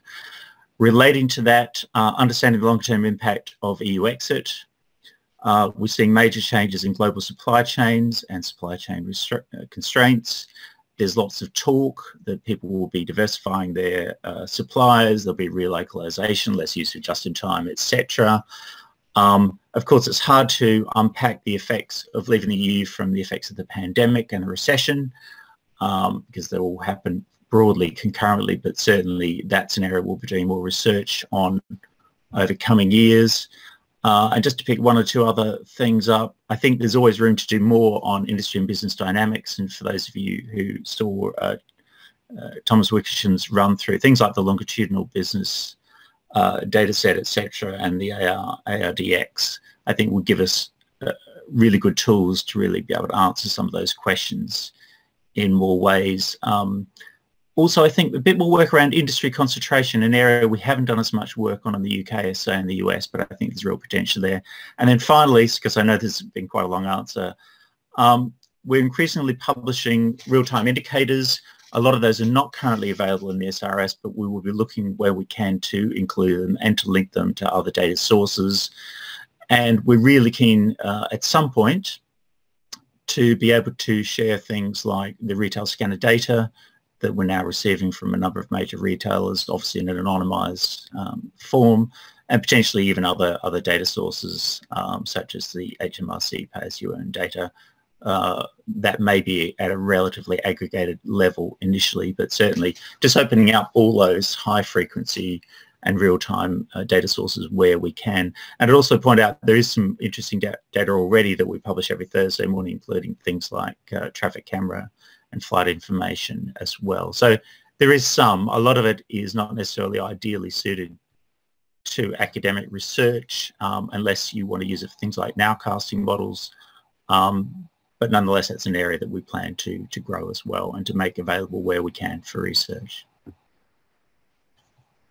No, thank you, Graham. That was incredibly comprehensive, re really interesting. Uh, um, I mean, one of my own observations from the research in the Secure Research Service is how few sort of climate sustainability projects have taken place. So, you know, it's really exciting. Hopefully, you know, to see the drive towards that and uh, see if, you know, we start to see a lot more research based on, you know, the data being made available. So um, my second question is sort of diverting a little bit away from the, the mainstream. So ONS has, has just uh, uh, gained research organization status with the uh, UK Research and Innovation. So um, could you say a little bit more about the opportunities for collaboration you think this might bring? Um, well, I don't think we've really thought through what the implications are, but let me just give you a practical example. Um, recently, the, the ESRC awarded a reasonable chunk of money to work on productivity and saw the establishment of the Productivity Institute uh, at Manchester University. Um, we had extensive discussions with the consortium ahead of the, that bid going in, but we weren't able to join as an equal partner in that consortium or as kind of the, the poor cousin in, in the sense that we would supply a lot of the data, but we wouldn't actually be a research partner. Um, I think this puts us more on a more equal footing. It means that we could not only join consortiums, but potentially lead bids um, for research funding. Uh, and I think that just gives us a lot more opportunity to, to partake of the wide range of researchers out there. Um, but I think it's going to be a bit of a slow burn. I think first we need to identify what areas we think there are gaps or opportunities and, and really just start to engage with people and talk through what's possible. Um, we won't be able to do everything, but I, I, do think that that would see us involved more actively in, in a wider range of research than we currently are. Thank, thank you, Grant. And staying with the theme of engagement, what avenues do ONS offer for engagement with economists and researchers using ONS business data? Um, well, I, I, saw that Francis talked about um, the areas of research interest. Unusually, ONS haven't published anything of that nature um, for a while now, which, which doesn't help, although you only have to look at our website to kind of see what sort of areas of research we are interested in. Uh, we, following the, the public sector research establishment status, we are working on uh, a fairly comprehensive research plan, and I'm hoping we'll also publish in areas of research interest on gov.uk in the next three to six months. Um, my starting point, if I was a, researcher, would be to have a look at that when it comes out and then have a conversation with us if there's something in there that you would like to work with us on. In the meantime, um, we are working closely with a number of research partners. The Economic Statistics Centre of Excellence, ESCoE, has a broad range, I think about 20 projects at the moment that we're working with academics across the UK and internationally on. Um, if you have a look at their website, that will give you a good sense of what we're doing there. We uh, are doing three projects in partnership with the Turing Institute. We're also working with the Cardiff Research Partnership. Um, and of course, we engage with researchers through the SRS and, and other forums. But I mean, my key piece of advice there is, look, if you have an interesting research idea or you see something on our website that, that kind of touches on an area you're working on, I think uh, my colleagues have run through quite a number of areas uh, this morning that, that, I think people may find of interest.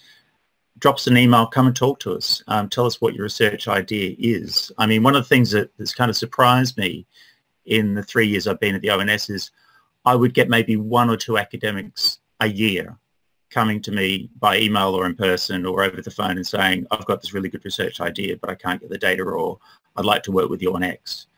Um, it happens a lot less than I would have expected given the huge amount of data that we're sitting on and which is only going to grow uh, in the future. So I think there are some missed opportunities. Let's have a conversation. Tell us what you, you're planning to do and if we can make it work and we see value in it, then then let's get on with it.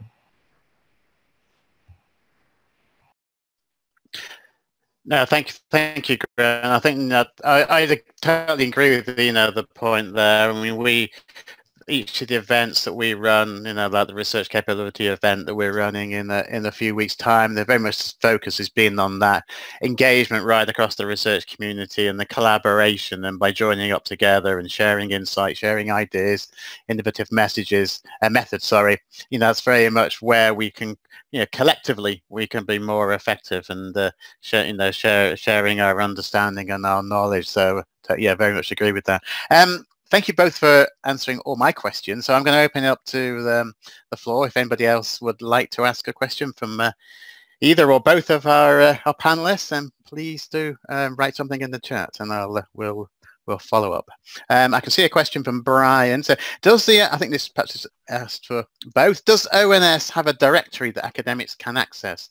As an academic, I don't know who to approach. Uh, I'm not quite sure what that directory might be, but if that would chime with you, Grant. Well, we publish sure quite what the directory is. we publish thousands of bulletins and research and articles every year. Uh, and as I said, you know, if you look at what we publish on business dynamisms, on trade, on productivity, etc., um, everything we publish has contact details on it. So, yeah, if you if you want to talk about productivity, talk to our head of productivity. Um, if you want to talk about some of the work we've done on industry but business dynamism, um, look at the latest article we published on that and, and get in touch with the authors. You know, we we're open, we're accessible. Um, we could publish a list of who the contacts are for each particular area of what we do, but A, that would be a very long list, um, and B, it would very quickly get out of date, I suspect. Grant, I just wanted to add in there that I know that there's a guide coming for working with academics as part of the, the research strategy that's being written now. I'm not sure when it's coming out, but I think that will be a very, very good port of call for, for academics to go to first. Yeah, and, and I think it, for, for one of clarity, people should assume that almost everything uh, relating to uh, business and economic statistics uh, and research we're involved in one way or another. There's almost invariably somebody in the organisation who is the authority on a particular area. Um, if you have trouble reaching them, find out who that is, just ping me an email and I'll forward it on to the relevant colleague.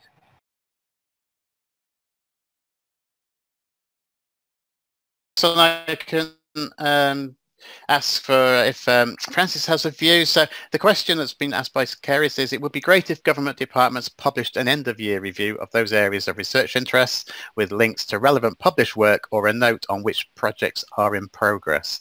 I mean, I think that's probably something where we, ONS could work together with the uh, BEIS and other uh, organisations because obviously we, a lot of that research takes place in the SRS. So if there's anything else you want to add, um, Francis. I so the, the area of research interest document does have some links to uh, research that was, I think, most in most cases complete and have been published um, in areas relating to, to other elements in that document. Um, and, you know, we, we also publish, we publish all the statistics, all the statistics and most of the research that uh, that we've carried out as well. Um, I, not really in quite so organised a fashion as, as I think Keris is suggesting. Um, but certainly the areas of research interest is a, is a good starting point, um, and also the sort of research and transparency areas of our website. Francis, Nick, uh, the next just, just, just one more question, and then and then we need to wrap up for the um, the breakouts. But one more question is brilliant. Yep. Okay. Thank you. And um, the question is from uh, I think Tian Chu, if I pronounced that correctly. Um, the question is there are quite a number of data and some of them are overlapping with each other. In addition, there are so many documents for each. For a new user, these information sometimes appears to be confusing. For example, the business expenditure on research and development stroke innovation survey. So um, I don't if there's anything either of you can add on those, but I think part of the answer there, I'm sure, is the, the data catalog that we're developing, for instance, for the Secure Research Service, which will provide a lot more comprehensive metadata and uh, hopefully guide researchers to what the how the data can be used with with some you know examples of uh, where those data sets are used that we can provide from existing projects. But perhaps if there's anything else briefly that Grant or Francis might want to add on that. Uh, so I have I have one thing which is my my team publishes something called business population estimates, uh, which overlaps quite a lot with a couple of ONS releases, the the business demography and the UK business activity size and location. Um, so one thing we've done BEIS working with ONS is to publish a document that says which, which one you would want to use for which purpose. Um, so I think I think that and that kind of thing is, is quite useful. We also try in the innovation survey, and I think the BERD team do as well, to to refer to each other's releases in our release, um, and and why you might want to when you might want to use our release and when you might want to use you know the other one. So I think that's that's that's quite a useful way of going about it.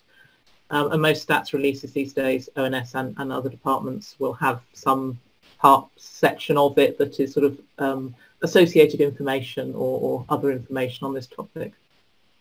Yeah, and, and just a tip from me in terms of finding the right person or the right piece of right piece of research or article on a topic.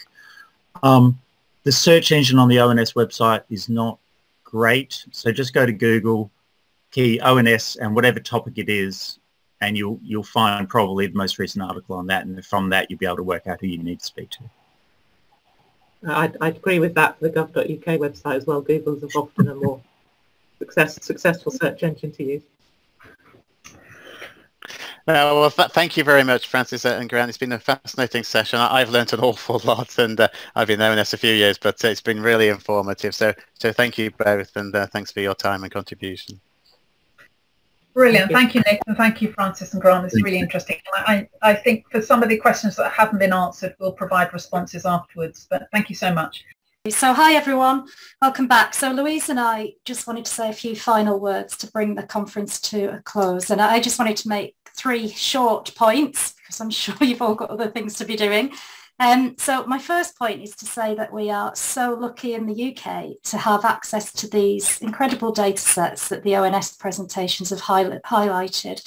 And without access to these data via the Secure Research Service and Secure Lab, then it would be much more difficult for researchers. So huge um, thank you to people who work within those two services to provide these data. Second thing I wanted to say is that the aim of these user conferences is to provide a forum for that vital link between researchers and data producers such as ONS. And that has definitely been achieved today. It's been evidenced by the really lively Q&A sessions. So it's been, I think it's been a brilliant day. And then my third point is to say some big thank yous to everyone. So thank you very much to all the presenters who've given their time and all the chairs as well. It's been a lot of background preparation for the presenters and chairs. And to everybody here as attendees for creating such interesting and lively discussions around the presentation topics. You've all been really good. So thank you again to our colleagues who work in Secure Lab and Secure Research Service for hard work throughout the year. And then very finally, an enormous thank you to my colleagues Jill Meadows and Saoirse O'Callaghan from the UK Data Service who work tirelessly behind the scenes to ensure the admin and the logistics of these conferences run so smoothly. And they organise so many of these important events, not just this one, for the research community. So a huge thank you to both of them for the work that they do. Um, and I'm going to hand over to Louise just to say a few words too. Thank you, Vanessa. I just want to echo, it's been a really brilliant day, fascinating. I think I've learned something, we've all learned something, and thank you all for sticking to time and following the rules and um, adding quest the word question when you're asked to do questions. So it, I think it's been really nice, and it just shows how these virtual conferences can bring so many so many really skilled people together. Just very quickly, if you have any additional questions for the ONS teams, please route them to my email address on there. That's the development impact, and we'll route them through to the people. And we want to try and answer some of the questions probably in a follow-up blog that, that will be coming out and we'll be posting that on the on the UK Data Service. And we may have an FAQ on there, Vanessa, as well, uh, together with the presentations.